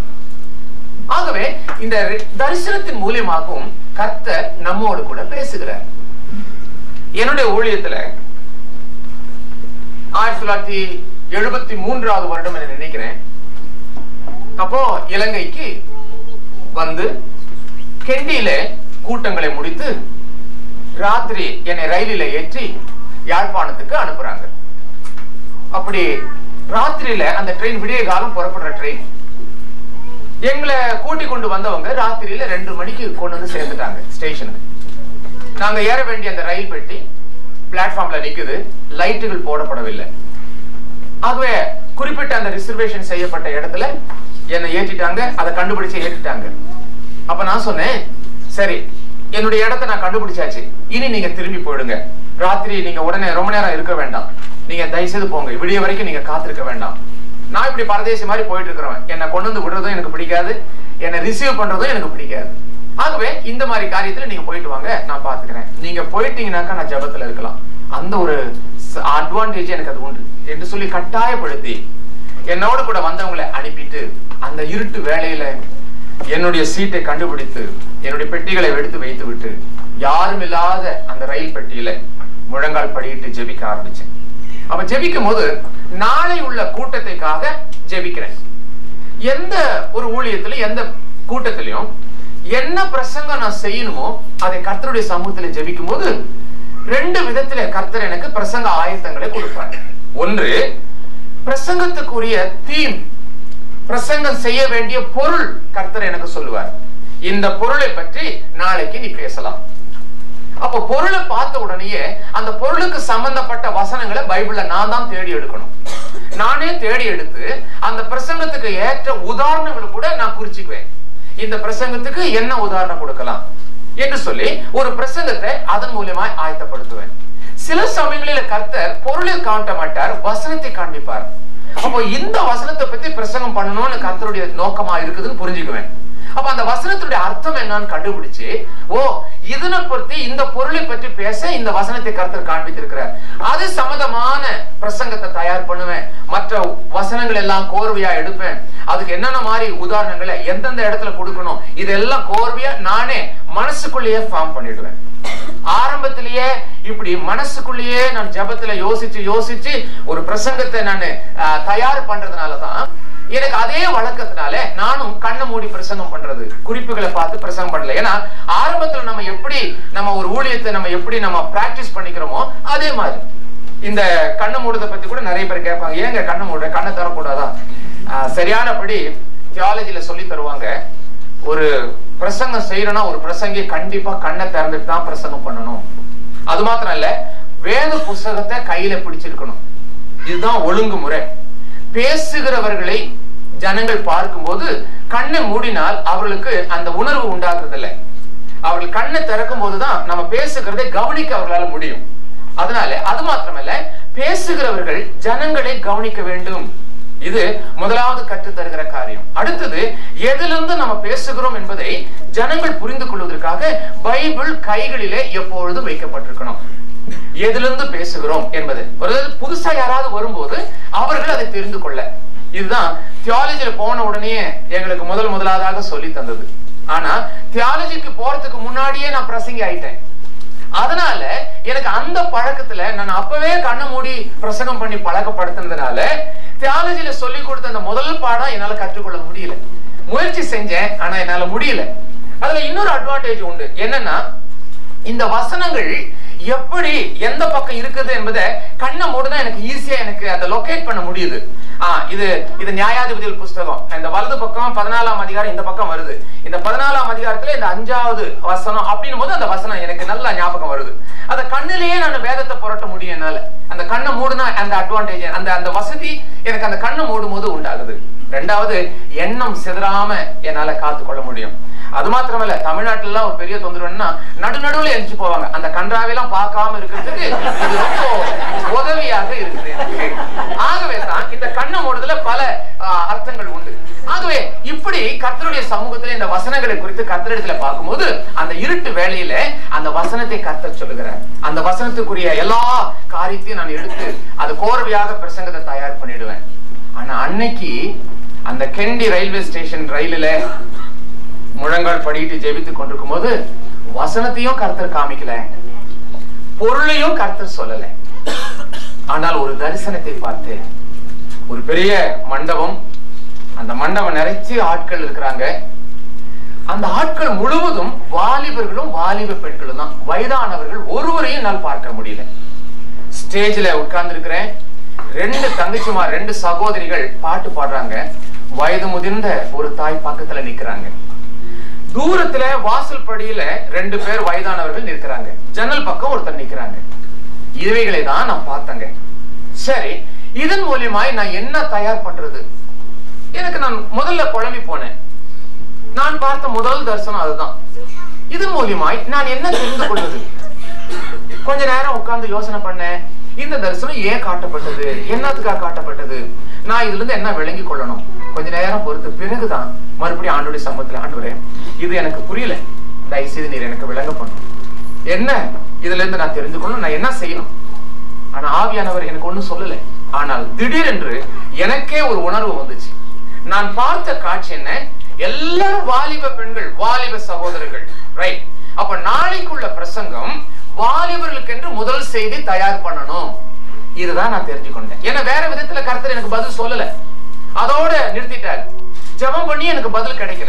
ஆக நானே யூகிக்க ஆரம்பிச்சிட்டேன். ரைட் இவைகள் எல்லாம் வாலிபர்களுக்காக செய்தி சொல்லணும்ன்றதுக்காக கருத்தர் காண்பித்திருக்கணும்.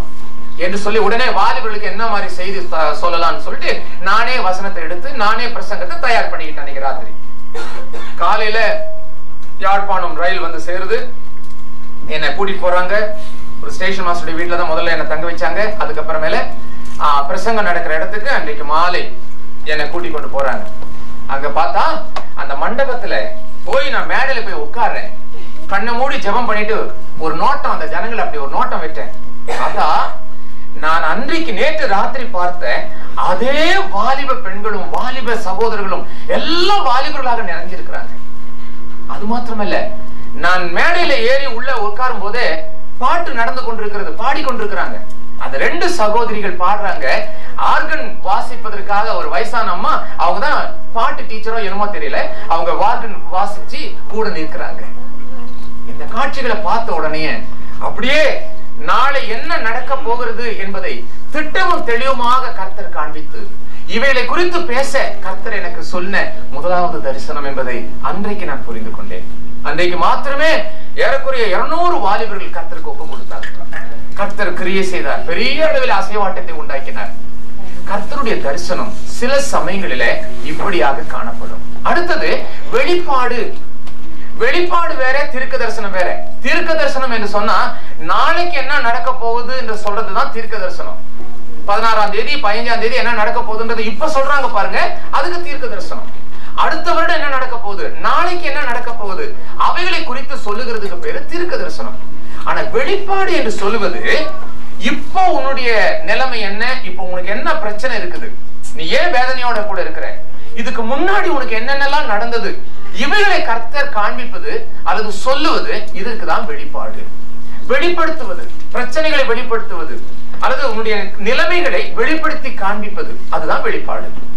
ஆனா இந்த வரங்கள் கர்த்தர் கிரியை செய்யும் போது அவைகளை ஜாக்கிரதையோடு ஞானத்தோடு கூட உபயோகப்படுத்த வேண்டியது மிக மிக முக்கியம்.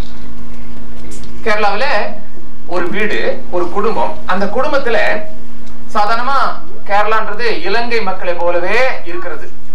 அதுவும் குறிப்பா சிங்கள அஹ், குடும்பங்கள் எப்படி இருக்குமோ அதே மாதிரி தான் கேரளா. கேரளாவில் இருக்கிற பெண்களும் சிங்களத்துல இருக்கிற பெண்களும் எல்லாம் ஏறக்குறைய ஒரே மாதிரி. உடைகளும் அதே மாதிரி தான் இருக்கும் அவங்களுக்கு. அதே மாதிரி உடைகள். ஊரும் நாடும் கூட இந்தியாவிலேயே கேரளா மாதிரி தான் இலங்கை என்று சொல்லலாம். அப்படிப்பட்ட யாழ்ப்பாணத்து மாதிரில மற்ற பாகங்கள் எல்லாம் கேரளா மாதிரியே இருக்கும். அந்த கேரளாவில படித்தவர்கள் அது இந்தியாவிலேயே நூற்றுக்கு நூறு படித்தவர்கள் கேரளா மாநிலத்தில் தான். என்று இப்ப சமீபத்தில் உள்ள கணக்குல வந்திருக்கிறத பார்க்கலாம். எல்லாம் படிச்சவங்க எல்லாம் கிராஜுவேட் எல்லாம் படிக்காதவங்க ஒருத்தனை கூட இருக்க மாட்டான். பிச்சை எடுக்கிறனாலும் அவன் நிச்சயமா எஸ்எஸ்எல்சியாவது படிச்சிருப்பான். அந்த அளவுக்கு படிச்சவங்க நிறைஞ்ச இடம். அதனால இவங்களுக்கு யாருக்கும் சொந்த மாநிலத்துல வேலை இல்லாததுனால தான் இந்த கேரள மக்கள் உலகமெங்கும் திரிந்து அநேகர் தொழில் செய்வதற்குனே ஓடி போயிடுவாங்க. அநேக குடும்பத்துல பெண்ணும் மானும் எல்லாம் சேர்ந்து வெளிநாடுகள்ல தான் இருப்பாங்க. கேரளா ஜனங்கள் இல்லாத நாடே இல்லைன்னு சொல்லுவாங்க. முத முத இந்தியாவில எவரெஸ்ட் சிகரத்துல டென்சிங்ன்றவர் தான் முதல்ல உலகத்திலேயே அந்த எவரெஸ்ட் சிகரத்து மேல நடந்து ஏறினாராம். எத்தனையோ பேர் முயன்றாங்க பாதியில செத்தாங்க பாதியில திருப்பி வந்துட்டாங்க. அப்போ டென்சிங் ஒருத்தர் தான் அங்க ஏறினாராம். அப்படி ஏறின வேலையில அந்த உச்சிக்கு போகிறதுக்கு கொஞ்சம் முன்னாடி ஒரு இடத்துல அப்ப அவர் யோசனை பண்ணாரா ஆ மொத மொத இந்த மலையில் மேல நான் தாயா கால் எடுத்து வச்சிருக்கிறேன். அப்ப அங்க வந்து சாயா சாயா டீ டீ நானா யாருனாக்கா அந்த கேரளா ஆளா? அப்பதான் பாரு நான் தான் மொதல் வந்தேன்னு நினைச்சேன். இவன் நமக்கு முன்னாடி எவரெஸ்ட் ஏறிட்டாங்களே. அந்த மாதிரி தமாஷுக்கு சொல்லுவாங்க. ஏன்னா கேரளா ஜனங்க இல்லாத நாடே இல்லை கேரளா மக்கள் இல்லாத ஊரே இல்லைன்னு சொல்லுவாங்க. அந்த அளவுக்கு உலகம் முழுவதும் வியாபித்து இருக்கிற அந்த ஜனம் கேரள மக்கள் தான். ஆனா அவங்க போக இஷ்டப்படாத ஒரே இடம் என்னன்னா இலங்கை ஒண்ணுதான். ஏன்னாக்கா அங்க இருக்கிற வருமானத்தை இங்க கொண்டு வர முடியாது. இந்தியாவுக்கு கொண்டு வர இயலாது. ஆப்பிரிக்காவுக்கு போனாலும் அதே அதே சிஸ்டம் தான். ஆப்பிரிக்கால சம்பாதிக்கிற பணத்தை இங்க கொண்டு வர முடியாது. ஆப்பிரிக்காவது ஒரு அளவு கொடுத்துருக்குறாங்க. இவ்வளவுக்கு மேல நீ வீட்டுக்கு அனுப்பலாம்னு ஒரு சட்டம் போட்டிருக்காங்க. அதனால அங்க கொஞ்சம் நிறைய பேர் இருக்கிறாங்க. ஆனா இலங்கையினுடைய சட்ட திட்டத்தின்படி எந்த பணமும் இந்தியாவுக்கு கொண்டு போக முடியாது. ஆகவே இலங்கையில போய் வேலை செய்யறதுக்கு கேரளா ஜனங்களுக்கு யாருக்கும் அவ்வளவு இஷ்டம் இல்லை ஒரே ஒரு கேரளாவை யாழ்ப்பாணத்துல ஒருத்தர் பார்த்தேன் நான். மரக்கடை வச்சிருக்கிறார் போல் இருக்குது. அவங்கள நான் இப்போ எண்பத்தி ஒன்பதாவது வருஷம் யாழ்ப்பாணத்துக்கு போயிருந்த சமயத்துல எனக்கு அறிமுகப்படுத்தினாங்க. இங்க இருக்கிற ரெண்டே ரெண்டு கேரளா குடும்பம் இருக்குது. அவங்க ரொம்ப வருஷத்துக்கு முன்னாடி இருந்தவங்கன்னு சொல்லுவாங்க. ஆச்சரியப்பட்டு போனேன். ஆகவே இந்த மாதிரி இருக்கிற அந்த குடும்பத்துல அவங்களுக்கு ஒரு பழக்கம் என்னன்னா ஃபாரினர்ஸ் மாதிரியே தான். கல்யாணம்னு ஆயிடுச்சுன்னா உடனே பிள்ளைகளை செப்பரேட் பண்ணிடுவாங்க. கூட்டு குடும்பம் அவங்களுக்கு பிடிக்காது. தமிழ்நாட்டுல தான் கூட்டு குடும்பம். எல்லாம் மாமன் மச்சான் சகல பாடி எல்லாம் ஒரே வீட்டுக்குள்ள இருப்பாங்க. இது தமிழ்நாட்டினுடைய காரியம். அது இலங்கை தமிழ்நாடு எப்படின்னு எனக்கு தெரியல. ஆனா இந்தியாவுல இருக்கிற தமிழ்நாட்டில் உள்ள காரியம் என்னன்னா கூட்டு குடும்பம். ஒரே வீட்டுக்குள்ள அத்தனை பேரும் இருப்பாங்க. ஆனா இலங் அந்த கேரளாவில் இருக்கிறவங்களுக்கு கூட்டு குடும்பம் பிடிக்காது. கல்யாணம்னு ஆன உடனே அவங்கள செப்பரேட் பண்ணிடுவாங்க. மகனும் மகளும் சரி அவங்களுக்கு தனி வீடு கொடுத்துருவாங்க. அல்லது வாடகை வீட்டா இருப்பாங்க. இந்த பெரிய குடும்பத்துல நாலு பிள்ளைகள் ஆண் பிள்ளைகள் நாலு பேருக்கும் கல்யாணம் ஆயிடுச்சு. ஆனா நாலு பேருக்கும் தனித்தனி பங்களாவை கட்டி கொடுத்துட்டாங்க. ஆனா ஒருத்தரும் அந்த வீட்டுக்குள்ள குடியிருக்கல. ஏன்? அந்த தாயினுடைய ஆசை. என்னுடைய பிள்ளைகள் நான் சாகுற வரைக்கும் என் முன்னாடியே நான் பார்க்கணும். அதுதான் என்னுடைய ஆசை. நான் செத்து போனதுக்கு அப்புறம் அவன் அவன் வீட்டுல நீங்க போங்கப்பா அவங்கவுங்க சொத்தை நீங்க பாத்துக்க ஆனா என்னுடைய ஆசையை நிறைவேற்றணும்னு சொல்லி அந்த வீட்டுக்குள்ள நாலு பேரும் குடும்பமாக அவங்கவுங்க மனைவி பிள்ளைகளோடு குடும்பமாக ஒரே சமையல்ல சாப்பிட்டுட்டு இருக்கிறாங்க. அம்மாவுடைய ஆசையை நிறைவேற்றேன் ஆனா அந்த குடும்பத்துல மூணு பேர் ஆங்கிலிக்கன் சபையை சேர்ந்த அந்த மார்த்தமா சபையை சேர்ந்தவங்க ஒரே ஒருத்தர் மாத்திரம் பெந்தகோஸ்த சபையை சேர்ந்தவங்க. அப்ப இந்த வீட்டுக்குள்ள அந்த பெந்தவர் சபையை சேர்ந்த பாஸ்ட் என்ன செய்வாரு? அடிக்கடி ஜபம் பண்றதுக்கு அந்த வீட்டுக்குள்ள வருவார். அந்த குடும்பத்தை மாத்திரம் சந்திச்சுட்டு அந்த வீட்டுல போய் ஜெபம் பண்ணிட்டு போவார். ஒரு நாள் அப்படி வந்த சமயத்துல திடீர்னு அந்த அம்மா சொன்னாங்க அந்த வீட்டுல அந்த ரூம்ல இருக்கிறவங்க சொன்னாங்க அந்த மகனுடைய மனைவி சொல்றாங்க பாருங்க பாஸ்டர் ஆறு மாசமா எங்க வீட்டுல இப்ப நல்ல போராட்டம். என்னுடைய பிள்ளைகள் எல்லாம் ஒருத்தர் மாத்தி ஒருத்தர் வருத்தத்துல படுகிறாங்க சிக்காகிறாங்க. என்ன காரணமே தெரிய மாட்டேன்து அது மாத்திரம் இல்ல எனக்கும் என்னுடைய புருஷனுக்கும் இந்த ஆறு மாசமா ரொம்ப சண்டை போராட்டம் என்னன்னே எனக்கு புரியல நிம்மதியே இல்ல. தயவுசெய்து பாஸ்ட் நீங்க ஜெபிக்கணும். உடனே அந்த பாஸ்ட் ஜெபிச்சார். ஜெபிச்ச உடனே சொன்னார் அம்மா இந்த வீட்டுக்குள்ள உங்களுக்கு விரோதமா பில்லு சுனிய கட்டு ஒண்ணு இருக்குதுன்ட்டார். அவ்வளவுதான். சொல்லிட்டு ஜெபம் பண்ணிட்டு போயிட்டார். இப்பதான் புகைய ஆரம்பிச்சிச்சு. இது வரைக்கும் குடும்பமா அண்ணன் தம்பி எல்லாம் ஒன்னா இருக்கும்போது புருஷங்காரன் வந்த உடனே இவ பத்த வைக்க ஆரம்பிச்சிட்டா. நீ அண்ணன் அண்ணன் சொன்ன பத்தியா லட்சணம்? அவன் தான் இதை வச்சிருப்பான்னு நினைக்கிறேன். ஏன்னா பாச சொல்லிட்டு போயிட்டாரு. பில்லு சுனியம் வச்சிருக்காங்கன்னு சொல்லிட்டாரு. அவன் வச்சிருப்பானா? ரெண்டாவது ஆள் வச்சிருப்பானா? இல்ல கடைசி ஆள் வச்சிருப்பானா? இதெல்லாம் இப்போ ஆராய தொடங்கிட்டாங்க பாருங்க. இது வரைக்கும் அண்ணன் தம்பிங்க அவ்வளவு அருமையா நெருங்கி பழகுனவங்க. இப்போ இந்த கட்டு இருக்குதுன்னு தெரிஞ்ச உடனே ஒருத்தருக்கு ஒருத்தர் மனஸ்தாபம். இதை வேற வாயை திறந்து சொன்னதுனால குடும்பத்துக்குள்ள பிரச்சனை வந்துருச்சு. நீ என்ன சந்தேகிக்கிற இல்லை? நான் இவ்வளவு தூரம் உனக்கு நன்மை செஞ்சுட்டு நீ என்ன சந்திக்கிறிய நான் உனக்கு செய்வனா? அவதான் சொல்றான்னு சொல்லிட்டு பொண்டாட்டி சொல்றான்னு சொல்லிட்டு நீ அதை நம்பலாமா? இப்படி அண்ணன் தம்பிய கண்டிக்கிறான். மற்றவங்க அண்ணன் தம்பியோட கூட போராடி வீட்டுக்குள்ள பயங்கர சண்டை வந்துருச்சு. சரி இனி நாம இப்படி சேர்ந்து ஒரு வீட்டுல இருக்கிறது நம்மளால முடியாது. எனக்கு சமாதானமா இந்த வீட்டுல இருக்க முடியாது. நாம அவங்க அவங்க வீட்டுக்கு போயிட வேண்டியது. ஐயோ அப்புறம் அம்மாவுடைய ஆசையா நிறைவேற்றது நமக்கு ஒரு காரியம் செய்யலாம். எல்லாரும் அவங்கவுங்க வீட்டுக்கு வெளியே போயிடுங்க. ராத்திரி சாப்பாட்டுக்கு மாத்திரம் அம்மாவோட வந்து எல்லாரும் உட்காந்து சாப்பிடலாம். இதுதான் செய்யணும். இதுக்கு மேல நம்ம ஒன்னா இருக்க முடியாது. இருந்தா விவகாரம் அதிகமாகும். சொன்ன உடனேயே அவங்க அதே மாதிரி தீர்மானம் பண்ணி அவங்க அவங்க வீட்டுக்கு போயிட்டாங்க. இப்போ அந்த பெரிய அரண்மனை மாதிரி இருக்கிற வீடு காலி. இந்த வயசான அம்மா மாத்திரம் வீட்டுக்குள்ள இருக்கிறாங்க. நான் அந்த ஊருக்கு கூட்டத்துக்கு போன சமயத்துல போதகர் என்ன அந்த வீட்டுக்கு கூட்டிட்டு போனாரு. அந்த அம்மா கண்ணீர் சொல்றாங்க டாக்டர் சொந்த சகோதரன் இப்படி மத்தவனுக்கு பில்லு சொன்னிய வைப்பானா டாக்டர்? என்னால அதை நம்ப முடியல. எங்க வீடு எப்படி இருந்தது தெரியுமா? கலகலன்னு இருந்தது. இன்னைக்கு இந்த காரியத்தினால பிரச்சனை சொல்லிட்டேன். நானும் ஜெபிக்க ஆரம்பிச்சேன். உண்மையிலேயே அந்த வீட்டுக்குள்ள ஒரு பில்லு சொன்னிய கட்டு இருந்தது. இருப்பதை கர்த்தர் எனக்கு உணர்த்தினார். ஆனா இந்த காரியத்துல இந்த ஊழியக்காரன் செய்த ஒரு பிழை என்ன? அந்த கட்டு இருக்கிறது என்று சொன்னது ஒரு முக்கியமான தவறு. இப்ப சொன்னதுனால என்ன நன்மை ஏற்பட்டுச்சு? ஒண்ணு கத்தர் ஒரு காரியத்தை ஒருத்தனுக்கு காமிச்சா அதை எடுக்கும்படியான சக்தியும் நிச்சயமா அவனுக்கு கொடுக்கணும். காமிக்கிறது ஒருத்தர் எடுக்கிறது ஒருத்தர் அல்ல. அப்ப கத்தரு காமிக்கிற அதே ஆவியானவர் அதை நீக்கவும் முடியும். மாத்திரமல்ல அதுக்கு சக்தியே இல்லாம செய்ய முடியும். இன்னைக்கு நிறைய பேர் பில்லி சூனிய கட்டுக்கு பயப்படுறத நான் பார்த்திருக்கிறேன். ஆனா கர்த்தருடைய பிள்ளைகள் ஒரு நாளும் அந்த வார்த்தையை உபயோகிக்க கூடாது. ஏன்னா அது உண்மையிலே இருந்தாலும் சரி அந்த காரியத்தை விசுவாசிகள் முதலாவது எடுத்த உடனே கேட்க கூடாது. ஏன்னாக்கா அப்படி கேட்கும் போது தேவன் பேரில் இருக்கிற நம்பிக்கை முழுவதுமே பிசாசின் பேர்ல போக ஆரம்பிச்சிடும் எதை பார்த்தாலும் நம்ம என்ன சொல்லுவோம்? இது கட்டா இருக்குமா? இது பில்லு சொன்னியா இருக்குமா? அவனையே தான் நினைப்போமே தவிர இயேசுவை நினைக்க மாட்டோம். நமக்குள் இருக்கிறவர் அவனை விட பெரியவர். இந்த எண்ணெய் இருக்கும்போது அது என்னவா இருந்தா உனக்கு என்ன? சிலர் நினைக்கிறாங்க அந்த கட்டை எடுத்து தூர தூக்கி போட்டாதான் பிரச்சனை மாறும்னு நினைச்சிட்டு இருக்கிறாங்க. அப்படி நிறைய பேர். இங்க கனடால இருக்குதோ இல்லையோ எனக்கு தெரியாது. ஆனா மற்ற இடத்துல இந்தியாவுல முழுவதும் பாத்தீங்கன்னா நிறைய பேருக்கு இந்த மாதிரி பிரச்சனை இருக்குது. ஆஹ், ஒரு இடத்துக்கு கன்வென்ஷனுக்கு போயிருந்தேன். ராத்திரி பன்னெண்டு மணிக்கு தான் அந்த ஊருக்கு போய் சேர்ந்தேன். ட்ரெயின்ல இருந்து என்ன கூட்டிட்டு போனாங்க. தங்க வேண்டிய இடத்துக்கு என்ன கொண்டு போய் தங்க வச்சுட்டு உடனே ஒரு சின்ன ஜபம் மாத்திரம் போதகர் செய்துட்டு சரி நீங்க ரொம்ப டயர்டா இருப்பீங்க ரொம்ப லேட் ஆகி போச்சு. நாளைக்கு காலை உங்களை வந்து சந்திக்கிறேன். சொல்லிட்டு ஜெபம் பண்ணிட்டு போயிட்டார். நான் கதவை தாப்பால் போட்டேன் ஜன்னல தாப்பால் போட்டேன். உடனே நான் படுகைக்கு போனேன். படுக்கையில இருந்து அவங்க போட்டுக்கிற அந்த மெத்தட் எனக்கு சரி இஷ்டம் இல்லை ஆகவே தலகாணி இந்தாண்ட மாத்தி காலை இந்த பக்கம் திருப்பி வைக்கிறதுக்கு ஏற்பாடு பண்ணி நான் கொண்டு வந்த பெட்ஷீட்டை தூக்கி அது மேல போட்டு அது மேல படுத்து தூங்கிட்டேன். வழக்கமா வழமையா காலையில மூன்று மணிக்கு அல்லது மூன்றரை மணிக்கு எழுப்பி நான் ஜெபிக்கிறது என்னுடைய வழக்கம். அப்படி ஜெபிக்கும் போது நான் கட்டிலே முட்டி போட மாட்டேன். கட்டில விட்டு கீழே இறங்கி முழங்கால் படிக்கிட்டு தலைக்காணியை எடுத்து வச்சு இந்த ரெண்டு முட்டிக்கும் தலைகாணியை கொடுத்து இப்படி ஜெபிப்பது என்னுடைய வழக்கம். அப்படி வளமையா ஜெபிக்கிறதுக்காக என்ன பண்ணேன்? முழங்கால் படிக்கிட்டு அந்த விடிய காலம் மூன்றரை மணிக்கு தலைகாணியை இப்படி எடுத்தேன். தலையணையை எடுத்த உடனே அந்த தலையணைக்கு அடியில செம்பு தகுடு ஒண்ணு பார்த்தேன். செம்பு தகுடுல என்னமோ டைமண்ட் மாதிரி என்னென்னமோ மாதிரி எல்லாம் வரைச்சு வச்சிருக்கிறாங்க என்னென்னமோ எழுதியிருக்கிறாங்க மாப்பா என்னென்னமோ எழுதியிருக்கிறாங்க. இத பார்த்த உடனே முதல்ல எனக்கு ஒரு ஷாக் அடிச்ச மாதிரி ஆயிப்போச்சு. வழக்கமா நான் எப்பவுமே கொஞ்ச நேரம் மௌனமா இருந்து ஸ்தோத்திரம் பண்ணி அதுக்கப்புறமேல ஜெபம் பண்ணி தேவ பிரசந்த உணர்ந்து ஜெபம் பண்றது வழக்கம்.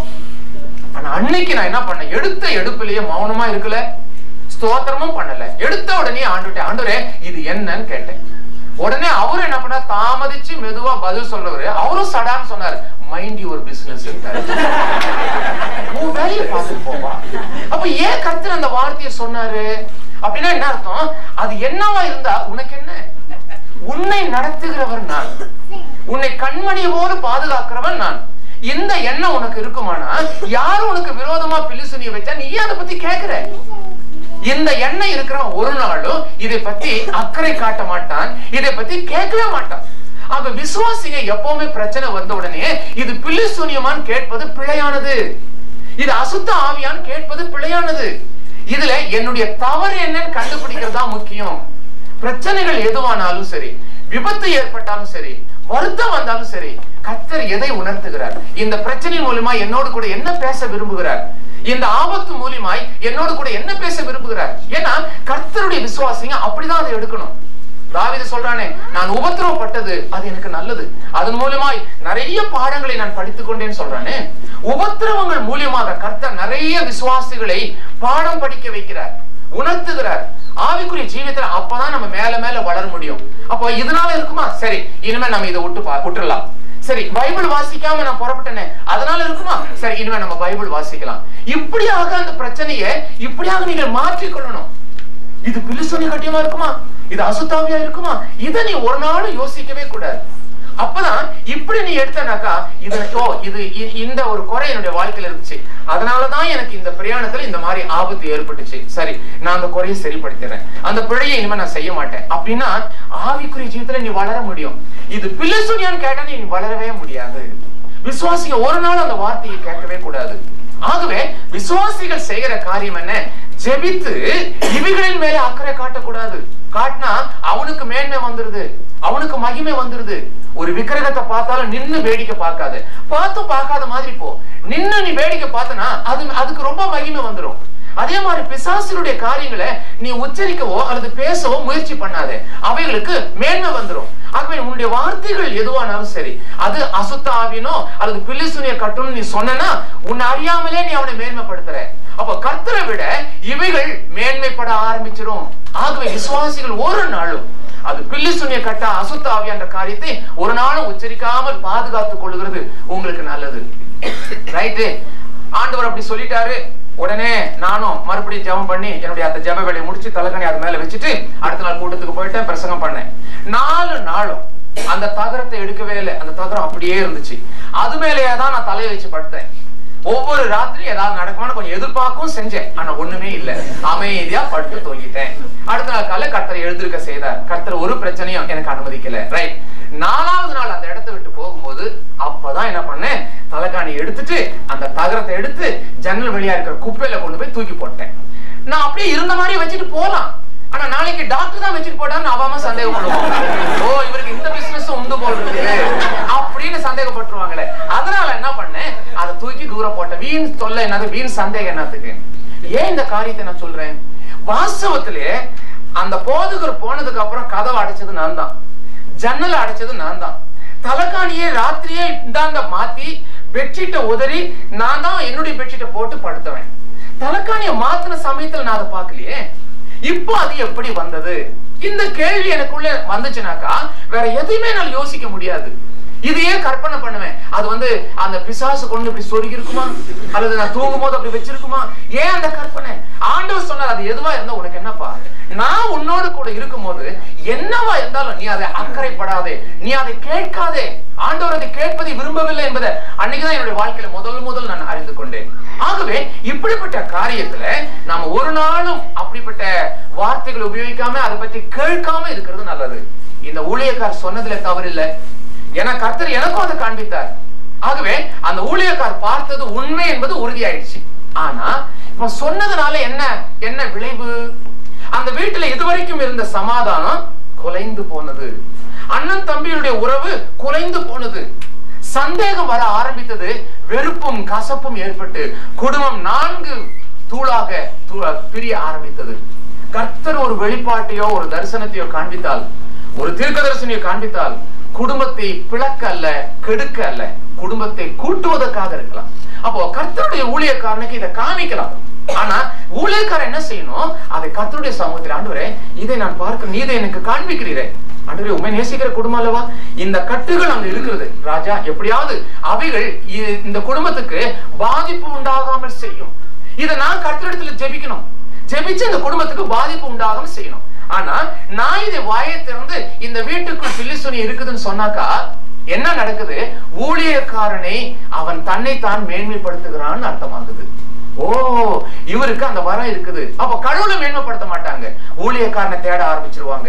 எந்த பிரச்சனை வந்தாலும் சரி ஊழியக்காரனை தேட ஆரம்பிச்சா அது இல்லாம அவன் மைண்ட் முழுவதும் இனிமே அடுத்தது ஒவ்வொரு பிரச்சனைக்கும் வரும். அப்ப சொல்லுவாங்க. இப்போ சின்ன வீட்டுல போய் ஜெபம் பண்ணி உங்க வீட்டுல பில்லி சூனிய கட்டு இருக்குது அது நீங்கும்படி நான் ஜெபிக்க போறேன் கர்த்தர் அதை நீங்கும்படி செய்வார். பில்லி சூனிய கட்டு இருக்குதுன்னு தெரிஞ்ச உடனே அவன் என்ன யோசிப்பான்? அடிக்கடி அவன் வந்து போறான. தெரியும் எனக்கு. அவன் நோட்டம் பார்த்தாலே எனக்கு தெரியும். பாருங்க யார் யாரெல்லாம் சந்திக்க வேண்டியிருக்குது சந்தேகப்பட வேண்டியிருக்குது? காலையில வந்தவனே சந்தேகப்படுற ராத்திரி வந்தவங்க சந்தேகப்படுற சும்மா வந்து உன்னை பார்த்துட்டு போக வந்தாங்க அந்த குடும்பம் அவங்களையும் சந்தேகப்படுவேன். ஏன்னா அவங்க தான் வந்துட்டு போனாங்க அப்படின்னு சொல்லுவேன். தேவையில்லாம கசப்பு உனக்கு உண்டாகும். அப்போ கர்த்தருடைய ஊழியக்காரர் என்ன செய்யணும்? அவைகளை வாய்க்காமல் செய்ய கர்த்தரிடத்திலே ஜெபிக்கணும். இப்ப பில்லி சுனித்தை எடுக்க வேண்டிய அவசியமே கிடையாதுங்க. தொண்ணூத்தோராம் சங்கீதம் சொல்லுது அதுல உன்னதமானுடைய மறைவில வசிக்கிறவனுக்கு என்னென்ன ஆசீர்வாதம்? வாதி உன் கூடாரத்தை அணுகாது பதினாயிரம் பேர் விழுந்தாலும் அது உன்னை ஒன்றும் சேதப்படுத்தாது. ஒண்ணுமே செய்யாதுன்னா செய்யக்கூடாது. செய்யக்கூடாது. அப்போ அந்த பிரச்சனை அங்க இருந்தாலும் அது வாய்க்காதே போகும் கத்தருடைய வசனம் சொல்றது இல்லையா? அது வாய்க்காதே போகும். அப்படின்னா அது அங்கதான் இருக்குது. ஆனா அதுக்கு செயல் இழந்து போயிடுச்சு. அதனுடைய சக்திகளை இழக்கும்படி கர்த்தர் செஞ்சிருவாரு. அதுதான் அதுதான் முக்கியம். இப்போ இந்த பாம் இருக்குதுங்க கண்டுபிடிச்சிட்டாங்க அந்த ஒரு இடத்துல இருக்குதான். சரி இவர் போனவர் என்ன பண்ணிட்டாரு? அந்த நிபுணர் கண்டுபிடிச்சு அந்த பாபுனுடைய முக்கியமான இதெல்லாம் கழட்டி அல்லது பேக் பண்ணி அதை செயல் இழந்துக்கு செஞ்சிடுறாரு. சரி இப்ப எல்லாருமே போகலாங்க ஸ்டேஷனுக்குள்ள உடனே தமிழ்நாட்டுல அந்த மாதிரி ரெண்டு மூணு தடவை நடந்துச்சு. எல்லாம் போல. என்னங்க பாம்பு எடுத்துட்டாரா? இல்லைங்க அது வந்து மிஷின் வருமா? அதை எடுத்துட்டு போவாங்களா? ஆனா இப்போ செயல் இழக்க செஞ்சிட்டாங்க. செயலிழக்க செஞ்சதுனால யாருக்கும் எந்த ஆபத்தும் இல்லை. அது இனி வெடிக்கவே வெடிக்காது. இதுதான் செயலிழக்க செய்யறது. அந்த பில்லுசுனிய கட்டை பார்த்து தோண்டி எடுத்து போட வேண்டியதில்லை. அதை செயலிழக்க செய்யலாம். அது அங்கேயேதான் இருக்கலாம். ஆனா அது ஒண்ணுமே செய்யாதபடி இருக்க கர்த்தருடைய வல்லமை ஊழியக்காரனுடைய ஜெபத்தின் மூலியமாய் அதை மாற்ற முடியும். உன்னுடைய ஜெபத்தின் மூலியமாவும் அதை மாற்ற முடியும். ஆகவே உன்னுடைய விசுவாசத்தை பலப்படுத்தி இவைகள் எதுவாக இருந்தாலும் சரி எந்த வீடா இருந்தாலும் சரி அது எந்த புது வீடா இருந்தாலும் பிசாசு குடியிருந்த வீடுன்னு சொன்னாலும் சரி தூக்கு போட்டவங்களுடைய வீடா இருந்தாலும் சரி நீ கத்துடைய பிள்ளை ஜெபிக்கிற அந்த இடத்துல எந்த பிரச்சனையும் இல்லாதபடி அது வாய்க்காதே போகும். ஆகவே இந்த விசுவாசம் ஒவ்வொரு விசுவாசிக்கும் இருக்கணும். இந்த குடும்பத்துக்கு வந்த பிரச்சனைக்கு அந்த காரணம் என்ன? அவர் சொன்னதுதான். அப்போ வெளிப்பாடுகளை கர்த்தர் தருவார். ஆனால் அதை எப்படி உபயோகிக்கணும்? எப்போ உபயோகிக்கணுன்றதும் ஊழியக்காரனுக்கு ஒரு விசேஷத்த ஞானம் வேணும். ஏன் உபயோகிக்கணும்னு சொல்லி தரணும். இன்னும் ஒரே ஒரு உதாரணம் சொல்லிட்டு நான் முடிக்கிறேன். கல்ஃப் பிரதேசத்துல ஜெபத்துக்குன்னு சொல்லிட்டு நிறைய பேர் வந்தாங்க. ஒவ்வொருத்தருக்கா கவுன்சிலிங் கொடுத்து கொடுத்து ஜெபம் பண்ண ஆரம்பிச்சாங்க. ஆனா ரொம்ப நீட்ட கியூ அப்ப போதகர் சொன்னாரு சாயந்தரம் அஞ்சு மணிக்கு கூட்டம். மணி மூணு ஆயிடுச்சு. நீங்க எப்ப குளிச்சு எப்ப ரெடி ஆகுறது? கூட்டமா ரொம்ப பெருசு கூட்டமா இருக்குது. அதனால ஒண்ணு செய்வோம். குடும்பம் குடும்பமா நீங்க ஜெபம் பண்ணி சீக்கிரமா அனுப்பி விட்டுருங்க. தனித்தனியா இருந்தா தான் ரொம்ப பேருக்கு கட்சி அது ஜெபம் பண்ணி ஆலோசனை பண்ணி நேரம் ஆகுது. அது குடும்ப குடும்பமா வரட்டும்னு சொல்லி சொன்னார். சரி அதே மாதிரி எல்லாரையும் இனிமே வர்றவங்களை எல்லாம் குடும்ப குடும்பமா அனுப்புங்கன்னு சொல்லிட்டேன். வீடு ஏர் கண்டிஷன் ரூமு கல்ஃபில் இருக்கிற எல்லா வீடுமே ஏர் கண்டிஷன்ல தான் இருக்கும். ஏன்னா பாலைவன பிரதேசம் ஏர் கண்டிஷன் இல்லாம அவங்களால ஜீவிக்க முடியாது. ஆகவே ஒவ்வொருத்தரா வந்தாங்க அந்த அறைக்குள்ள வந்தாங்க குடும்பமா வந்தாங்க ஜெபம் பண்ணி ஜெபம் பண்ணி அனுப்பிச்சேன். ஒரே ஒரு குடும்பம் உள்ள வந்துச்சு. அந்த குடும்பம் வந்த உடனே பார்த்தேன் உங்களுக்கு என்ன பிரச்சனை கேட்டேன். ஒண்ணும் பிரச்சனை இல்லை. யாருக்காவது வருத்தம் இருக்குதா? இல்ல யாருக்கும் வருத்தம் இல்லை. ஏதாவது பண விஷயத்துல இல்ல டாக்டர் யாரும் இல்ல. இல்ல இந்தியாவுல யாருக்காவது இல்ல டாக்டர் கருத்து எல்லாம் எங்களுடைய குடும்பத்தை ரொம்ப நல்லா ஆசை வச்சிருக்காரு. நான் சொன்னேன் இது வரைக்கும் வந்தவங்கள ஒவ்வொரு பிரச்சனையை பத்தி சொன்னாங்க. ஆனா கர்த்தருடைய ஆசீர்வாதத்தை புரிந்து ஸ்தோத்திரம் சொல்லுகிற ஒரே ஆள் உங்க குடும்பம் தான் ரொம்ப சந்தோஷமா கடவுள் உங்களை வாழ வச்சிருக்காரு. ஸ்தோத்திரம். சரி நம்ம தேவனை ஸ்தோத்திரம் பண்ணி ஜெபம் பண்ணலாம் சொல்லிட்டு உடனே ஆண்டவரே இவளுக்கு பிரச்சனை எதுவும் இல்லாதபடி நீர் காத்து கொண்டதுக்காக உங்களுக்கு ஸ்தோத்திரம் சொல்லி ஜெபம் பண்ணிட்டே இருக்கிறேன். ஒவ்வொரு பிள்ளைகளையும் ஆசீர்வதிக்கும்படி கர்த்தரிடத்துல நான் ஜெபம் பண்ணிட்டே இருந்தேன். ஜெபம் பண்ணிட்டே இருக்கும்போது திடீர்னு கர்த்தர் ஒரு காரியத்தை காண்பிக்க ஆரம்பிச்சார். உடனே நான் என்ன பண்ண அவசரமா இயேசு நாமத்துல கேட்டுக் கொடுக்குற பிதாவின் ஜபத்தை கப்புன்னு முடிச்சிட்டேன். முடிச்ச உடனே நான் சொன்னேன் நீங்க வெளியே போயிட்டு ஒவ்வொருத்தரா கொஞ்சம் உள்ள வாங்க. உங்களுக்கு மாத்திரம் நான் தனித்தனியா ஜெபிக்கணும்னு விரும்புறேன். உங்க குடும்பத்துல இருக்கிறவங்களுக்கு மாத்திரம். உடனே அவங்களுக்கு ரொம்ப சந்தோஷம் ஆயிப்போச்சு பாரு குடும்பம் குடும்பமா எல்லாருக்கும் ஜெபிச்சாரு. நம்ம குடும்பத்துக்கு மாத்திரம் தனித்தனியா ஜெபிக்கிறார் டாக்டர்னு வெளியே போய் ரொம்ப சந்தோஷமா கதைச்சிட்டு இருக்காங்க பெருமையா கதைச்சிட்டு இருந்தாங்க. முதல்ல மூத்த மக வந்தா ஜெபம் பண்ணி அனுப்பிச்சேன். ரெண்டாவது மக வந்தா ஜெபம் பண்ணேன். மூணாவது பையன் வந்தா ஜெபம் பண்ணி அனுப்பிச்சேன். கடைசியில ஆஹ், அவருடைய மனைவி உள்ள வந்தாங்க. உள்ள வந்தவொடனே நான் சொன்னேன் சிஸ்டர் அந்த தாப்பால் போடுங்கன்னு சொன்னேன். தாப்பால் போட்டு உள்ள வந்தோடனே எல்லாத்துக்கும் குடும்ப குடும்பமா ஜெபிச்சேன். ஆனா உங்க குடும்பத்துக்கு மாத்திரம் தனித்தனியா ஜெபிக்கும்படி நான் சொன்னேன். என்ன தெரியுமா? உங்களை தனியா வரவழைக்கிறதுக்காகத்தான் இந்த ஏற்பாடை நான் செஞ்சேன். ஏன் அப்படின்னாக்கா ஜெபிக்கும் போது கர்த்தர் ஒரு காரியத்தை கண்டித்தார். அந்த காரியத்தை குடும்பத்தின் மத்தியில நான் சொல்ல பிரியப்படல. ஆகவே தான் உங்களை தனிமையில உங்களை கொண்டு வர இந்த ஏற்பாடு பண்ணேன். என்ன கர்த்தர் காண்பித்தார்ன்றத உடனே எடுத்து சொல்ல ஆரம்பிச்சேன். சொன்ன உடனே அந்த ஏர் கண்டிஷன் ரூம்ல அந்த சகோதரனுடைய முகமெல்லாம் வியர்த்து ஒழுக ஆரம்பித்தது அந்த கல்ஃப் பிரதேசத்துல அந்த வீட்டுல சாதாரணமா அங்க குடியிருக்கிறவங்க ஒரு வீட்டுக்குள்ள அஞ்சு குடும்பம் ஆறு குடும்பம் குடும்ப குடியிருக்கும். ஏன்னா கல்ஃப் பிரதேசனுடைய வாடகை ரொம்ப அதிகம் வீட்டு வாடகை. அதை ஒருத்தரே சமாளிக்கிறதை விட ஷேர் பண்ணி அவங்க செய்வாங்க. அது மாதிரி பல குடும்பங்கள் அந்த வீட்டுல இருக்கிறாங்க. வாடகையை அந்த வீட்டுக்காருக்கு கொடுத்துட்றாங்க. அந்த வீட்டுக்குள்ள மாத்திரம் அஞ்சு குடும்பம் குடியிருக்குது. இந்த இந்த குடும்பம் தான் பணக்கார குடும்பம் அவங்க வீடு இவங்க தான் வாடகை கொடுக்குறாங்க மற்றவங்க அதை ஷேர் பண்றாங்க. அந்த வீட்டுக்குள்ள புருஷன் மனைவி எல்லாருமே வேலைக்கு போயிடுவாங்க. ஆனா இந்த சகோதரனுடைய மனைவி மாத்திரம் வேலைக்கு போல ஏன்னா இவருக்கு உயர்ந்த உத்தியோகம் கை நிறைய பணம். ஆகவே இந்த அம்மா ஊழி வேலைக்கு போல வீட்டுக்குள்ள இருக்கிறாங்க. அவ்வளோ பெரிய வீட்டுக்குள்ள பல குடும்பங்கள் குடியிருக்குது. எல்லாருமே வெளியே போயிடுறாங்க. அவங்க பிள்ளைங்க ஸ்கூலுக்கும் போயிடுறாங்க. அப்படி இருக்கும்போது அதே வீட்டுக்குள்ள குடியிருக்கிற மற்றொரு குடும்பத்துல அந்த வீட்டுல இருக்கிற புருஷனுக்கு டியூட்டிகள் ஷிப்டுகள் மாறும். காலையில சில சமயத்துல போயினா சாயந்தரம் வருவார். சில சமயத்துல சாயந்தரத்துக்கு மேலதான் வீட்டுல இருந்து போவாரு. ராத்திரி முழுவதும் இருந்துட்டு அப்புறம் வருவார். இந்த மாதிரி ஹவர்ஸ் கணக்குல டியூட்டி மாறும். அப்படி மாறும்போது பகல் சமயம் டியூட்டி ராத்திரி டியூட்டி சமயத்துல இவரு இந்த வீட்டுக்குள்ள பகல்ல இருக்கிறார். இப்போ இந்த ஆளு மாத்திரம் இந்த வீட்டுக்குள்ள இந்த வீட்டினுடைய வீட்டுக்காரனுடைய மனைவி ஜபம் பண்ண வந்தாங்களே இந்த சகோதரி மாத்திரம் வீட்டுக்குள்ள. என்ன நடந்தது? ரெண்டு பேருக்கும் ஏதோ பிழையான ஒரு தொடர்பு ஏற்பட்டு போச்சு. இந்த சகோதரனுடைய புருஷனுக்கும் இந்த இந்த விஷயம் தெரியாது. இந்த ஆளு தப்பு பண்ணாரு பிள்ளை செஞ்சாரு. இந்த ஆளுடைய மனைவிக்கோ பிள்ளைகளுக்கோ இந்த ரகசியம் தெரியவே தெரியாது. இது எத்தனை நாளா இந்த ரகசிய தொடர்பு நடக்குது? மூன்றரை வருஷமா நடக்குதுங்க. யாருமே இதை கண்டுபிடிக்கல. யாருமே கண்டுபிடிக்கல. ஏன்னா யாருமே அந்த வீட்டுல இருக்கிறது இல்ல. கர்த்தர் அதை வெளிப்படுத்தினார். ஆசீர்வதிக்கப்பட்ட அந்த குடும்பத்துல ஜெபிக்கிற அந்த பெற்றோர்கள் நாட்டில் ஜெபிக்கிற நல்ல கிறிஸ்துவ குடும்பம். அந்த சகோதரனுடைய வாழ்க்கையும் சகோதரியும் கர்த்தர் நேசிக்கிறேன் ஆனா இந்த பிழையான காரியத்தை எச்சரிப்பதற்காக அந்த ஆவியானவர் அதை வெளிப்படுத்தினார். உடனே அந்த சகோதரி முழங்கால் படிக்கிட்டு தேம்பி தேம்பி அழுதாங்க. ஆண்டவரே நீ ஜீவனுள்ள தேவன் என்பதை இன்றைக்கு நான் அறிகிறேன் சுவாமி. கடல் கடந்து வந்த ஒரு நபருக்கு அவருக்கு நீர் இந்த ரகசியத்தை வெளிப்படுத்தது உண்மையானா? ஒண்ணுமே அறியாத முன்ன பின்ன பார்த்திராதவருடைய மூலியமாக இந்த ரகசியத்தை நீர் அறிந்தது உண்மையானா? என்னுடைய எத்தனை அந்தரங்க காரியங்கள் உங்களுக்கு தெரிந்திருக்கும்? இன்றைக்கு நான் அதை உணர்கிறேன் சுவாமி. நீர் எல்லாவற்றையும் ஆராய்ந்து அறிகிறீர். தாவிது சொல்றானே கர்த்தாவே நீ தூரத்திலிருந்தே நீர் என்னை ஆராய்ந்து அறிகிறீர். நான் பாதாளத்தில் இறங்கினாலும் நீர் அங்க இருக்கிறது நான் வானத்தில் ஏறினாலும் உடைய கரம் வந்து பிடிக்கிறது. கர்த்தருடைய கண்களுக்கு முன்பதாக யாருமே மறைக்கப்பட முடியாது. இன்றைக்கு நான் உணர்றேன் சாமி.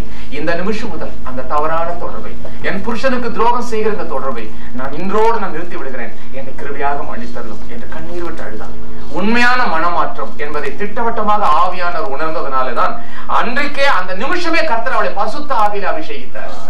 அந்த அபிஷேகமே உங்களுக்கு தெரியும். அவங்களாம் ஆங்கிலிக்கன் சபை. ஆனா கொஞ்சம் பக்தி உள்ளவங்க. ஆனா அன்னைக்கு இந்த அம்மா அந்த பரிசுத்தாவை பத்தி கேட்கவே இல்லை. ஆனா அன்றைக்கு கர்த்தர் விசேஷ முறையில அபிஷேகம் பண்ணி அவரை அனுப்பினார். அடுத்தது அவருடைய புருஷன் வந்தாங்க. ஜெபம் பண்ணி அனுப்பிட்டேன். சந்தோஷமா போயிட்டாங்க. சில நாட்கள் கழித்தது பிறகு அவங்க அங்கிருந்து எழுதுனாங்க டாக்டர் ஏற்கனவே என் குடும்பத்துல எந்த பிரச்சனை இல்லைன்றது உங்களுக்கு நல்லாவே தெரியும். நான் உங்ககிட்ட நேர்ல சொன்னேன். வருத்தம் இல்ல பிரச்சனை இல்ல. பணத்திலயும் கர்த்தர் என்ன உழைத்திருக்கிறார் ஆனா நீங்க வந்துட்டு போனதுக்கு அப்புறம் என்னுடைய மனைவியினுடைய ஜெப வாழ்க்கையில ரொம்ப மாற்றம். இப்போ உபவாசம் ஜெபம் என்னுடைய குடும்ப ஜபத்துல அவளுடைய ஜபத்துல ரொம்ப வித்தியாசத்தை நான் பார்க்கிறேன். இது வரைக்கும் அவ செஞ்ச மாதிரி இல்ல. அந்த ஜெபத்துல என்- என்னவோ ஒரு பவரை நான் பார்க்கிறேன் டாக்டர். ரொம்ப சந்தோஷம். எங்க குடும்பத்தை நீ சந்தித்ததுக்காக நான் ரொம்ப தேவனை ஸ்தோத்திரம் பண்றேன். ஆனா கர்த்தர் அந்த ஜெபம் பண்ற அந்த குடும்பமா வந்த சமயத்துல வெளிப்படுத்தின விஷயத்தை அந்த ஜெபம் பண்ற வேலையில நான் ஏதாவது ஒரு விதத்துல சுட்டி காட்டியிருந்தேன்னு வச்சிருங்க என்ன நடந்திருக்கும் அன்னைக்கே வீட்டுக்கு போன உடனேயே மனைவியை அவன் தள்ளி வச்சிருவான். அப்புறம் அதனால என்ன? வளர்ந்த பிள்ளைகள் எல்லாம் சிதறடிக்கப்படுவாங்க. தாய் ஒரு பக்கம் தகப்பன் ஒரு பக்கம். அந்த குடும்பமே நாசமாய் போயிடுமே. கர்த்தருடைய வெளிப்பாடு குடும்பத்தை தகர்ப்பதற்கல்ல குடும்பத்தை இணைப்பதற்காக இருக்கணும். அப்போ கர்த்தர் ஒரு வரம் தந்தாருனாக்கா அதை எப்படி உபயோகிப்பது? அது மிக மிக முக்கியமான காரியம். சாமுவேலுக்கு கர்த்தருடைய வரம் உண்டு. வெளிப்பாடு வரம் இருந்தது. சவுல் ராஜபாரத்தை விட்டு நான் நீக்கிட்டேன்னு கர்த்தர் சாமுவேலுக்கு தனியா சொல்லிட்டார். உடனே இவன் என்ன பண்ணா? போய் சவுலிட்ட போய் அப்பா எனக்கு வெளிப்பாடு இருக்குது எனக்கு தீர்க்கதரிசனம் இருக்குது பாத்தியா? கர்த்தர் எனக்கு முன்னாடியே சொல்லிட்டார் உன்னை விட்டு நீங்கிட்டாராம். அப்படின்னு சொல்லிட்டு ஜம்பம் காட்டுறதுக்காக அவன் பிரியப்படல. அவன் என்ன செஞ்சானு தெரியுமா? அவன் ராத்திரி போய் கர்த்தருடைய சமூகத்துல அவன் தேம்பி தேம்பி அழுகிறான். ஆண்டவரே நீர் ஆரம்பித்த ராஜ்யபாரம் அல்லவா? நீர் தெரிந்தெடுத்த முதல் ராஜா அல்லவா? நீரே அவனை விட்டு விலகிட்டா? ஜனங்க என்ன சொல்லுவாங்க? இந்த ஒரு விசை அவனை மன்னித்து நீர் காப்பாற்றும் சுவாமி. தயவுசெய்து மன்னியம் என்று சொல்லி சவுலுக்காக சாமுவேல் போராடி ஜபிக்கிறான் அழுது ஜபிக்கிறான். அதுதான் உண்மையான ஊழியம். எந்த விசுவாசிகளுடைய ஜீவியத்தில் என்ன பிழைகளை கர்த்தருடைய ஆவியானர் காண்பித்தாலும் அதை நாம் வெளிப்படுத்துவது நம்மை உயர்த்துவதாக ஆகும். மனுஷனை பெருமைப்படுத்த ஆகும். ஆனா கர்த்தருடைய நாம மகிமைப்படுவதற்காக அல்ல. சில சமயத்துல ஓ அது அவங்களை எச்சரிப்பு செய்யறதுக்கு வசதியா இருக்கும் இல்லையா? பிலிஸ்தோனி இருக்குது அசுத்தாவி இருக்குதுன்னு சொன்னா அவங்களை எச்சரிக்கலாமே. எச்சரிச்சா பலன்? அவங்களுடைய நினைப்பெல்லாம் ஆட்களை சந்தேகப்படுவாங்களே தவிர பிசாசை யோசனை பண்ணுவாங்களே தவிர தேவனை நெருங்க மாட்டாங்க. ஆகவே வெளிப்பாடுகள் என்று சொல்லும்போது இந்த காரியங்களை கர்த்தர் வெளிப்படுத்தினால் உண்மையான ஊழியக்காரன் தான் கண்டதை உடனே கர்த்தரிடத்துல சொல்லி முறையிட்டு அந்த குடும்பத்துக்கு அதுல இருந்து விலக்கு வாங்கி கொடுப்பான். அந்த குடும்பத்தை அந்த அந்த பிரச்சனையிலிருந்து காப்பாற்றும்படி முயற்சி செய்வான். சொல்லி முயற்சி செய்வது மனுஷனை மேன்மைப்படுத்துகிறதாக இருக்கும். சில சமயத்துல வரிசையா கூட்டத்துல நிப்பாங்க. கை வச்சு ஜெபிக்கிற சமயத்துல சில வெளிப்பாடுகள் வரும். நான் சொல்லவே மாட்டேனே. ஏன்னா அடுத்து நிக்கிறவங்க அதை கேட்டாங்கன்னா பல பிரச்சனை வரும். ரெண்டு நாளைக்கு முன்னாடி நினைக்கிறேன் ஒரு இடத்துல நாலஞ்சு பேர் நிக்கும் போதே ஒரு சகோதரி ஒரு பிரச்சனைய பேசிட்டாங்க. நான் திடீர்னு அதை ஆலோசனை கொடுக்க வேற நேரம் இல்லை. ஆனா அது ரொம்ப பிரச்சனையா இருந்தது. ரொம்ப ஒரு மாதிரி எம்பாரசிங்கா ஒரு மாதிரி ஒரு கூச்சமான ஒரு சூழ்நிலையா போயிடுச்சு. ஏன்? அத பின்னாடி தான் நான் யோசனை பண்ணேன். ஐயோ வேற வழி இல்லையே. நான் சொல்ல வேண்டியதா போச்சு. இது பிழையானது. உங்களுடைய வாழ்க்கை பிழையானது. இந்த மாதிரி உள்ள காரியத்துல நீங்கள் உடனாக நீங்க ஏற்பாடு செய்யுங்கன்னு நான் சொல்ல வேண்டிய நிர்பந்தம் ஆயிப்போச்சு. அது மற்றவர்கள் கேட்கும்படியே அவங்க தனியா வரல. எல்லாரையும் கூட்டிட்டு அவங்க பக்கத்துல நின்னதுனால இந்த காரியம் வந்தது. அது பிழையான காரியம். ஆகவே கர்த்தர் வெளிப்படுத்துகிறதை மற்றவர்கள் கேட்க கூடாது அதனால ஞானத்தோடு சில வெளிப்பாடுகளை சொல்லணும். எப்ப சொல்லணும்? எப்ப சொன்னா இவங்களுக்கு அது பிரயோஜனமா இருக்கும்? சொன்னாக்கா ஏதாவது ரியாக்ஷன் வருமா? ஏதாவது பிரச்சனைகள் அதிகமாகுமா? இந்த குடும்பத்துல வேறு விதமான பிரச்சனைகள் உருவாகுமா? இதெல்லாம் நம்ம யோசனை பண்ணிட்டு தான் எந்த திருக்க தரிசனத்தையும் எந்த வெளிப்பாடுகளையும் சொல்லணும். அதை விட்டுட்டு கர்த்தர் காமிச்சாரேன்னு சொல்லிட்டோம். குடும்பத்துல வீணா பிரச்சனை. மாத்திரமல்ல பிசாசு மகிமையை எடுத்துக்கொள்வான். ஊழியக்காரன் இயேசுவை தள்ளிவிட்டு ஊழியக்காரன் தன்னை வெளிப்படுத்த ஆசை ஆரம்பிச்சிருவான். ஆக அதனாலே கர்த்தருடைய நாமம் மகிமைப்படுவதாகவே காணப்படாது. அப்ப எந்த வெளிப்பாடுக்கு ஒரு ஒரு ஒரு ட்ரைனிங் அவசியம்? தீர்க்க தரிசனம் அது மாதிரிதான். ஆனா இப்போ முன்ன மாதிரியே எல்லாரும் வெளிப்பாடு என்ன?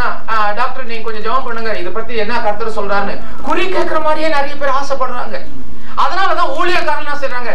வெ- தலை வச்சவன் கையில எல்லாம் கைய வச்சு எந்தெந்த தலையில வைக்கிறானோ காரியங்களை எல்லாம் அவனுக்கு அது இருக்குது உனக்கு இது இருக்குதுன்னு சொல்ல ஆரம்பிச்சிடறாங்க. ஏன்?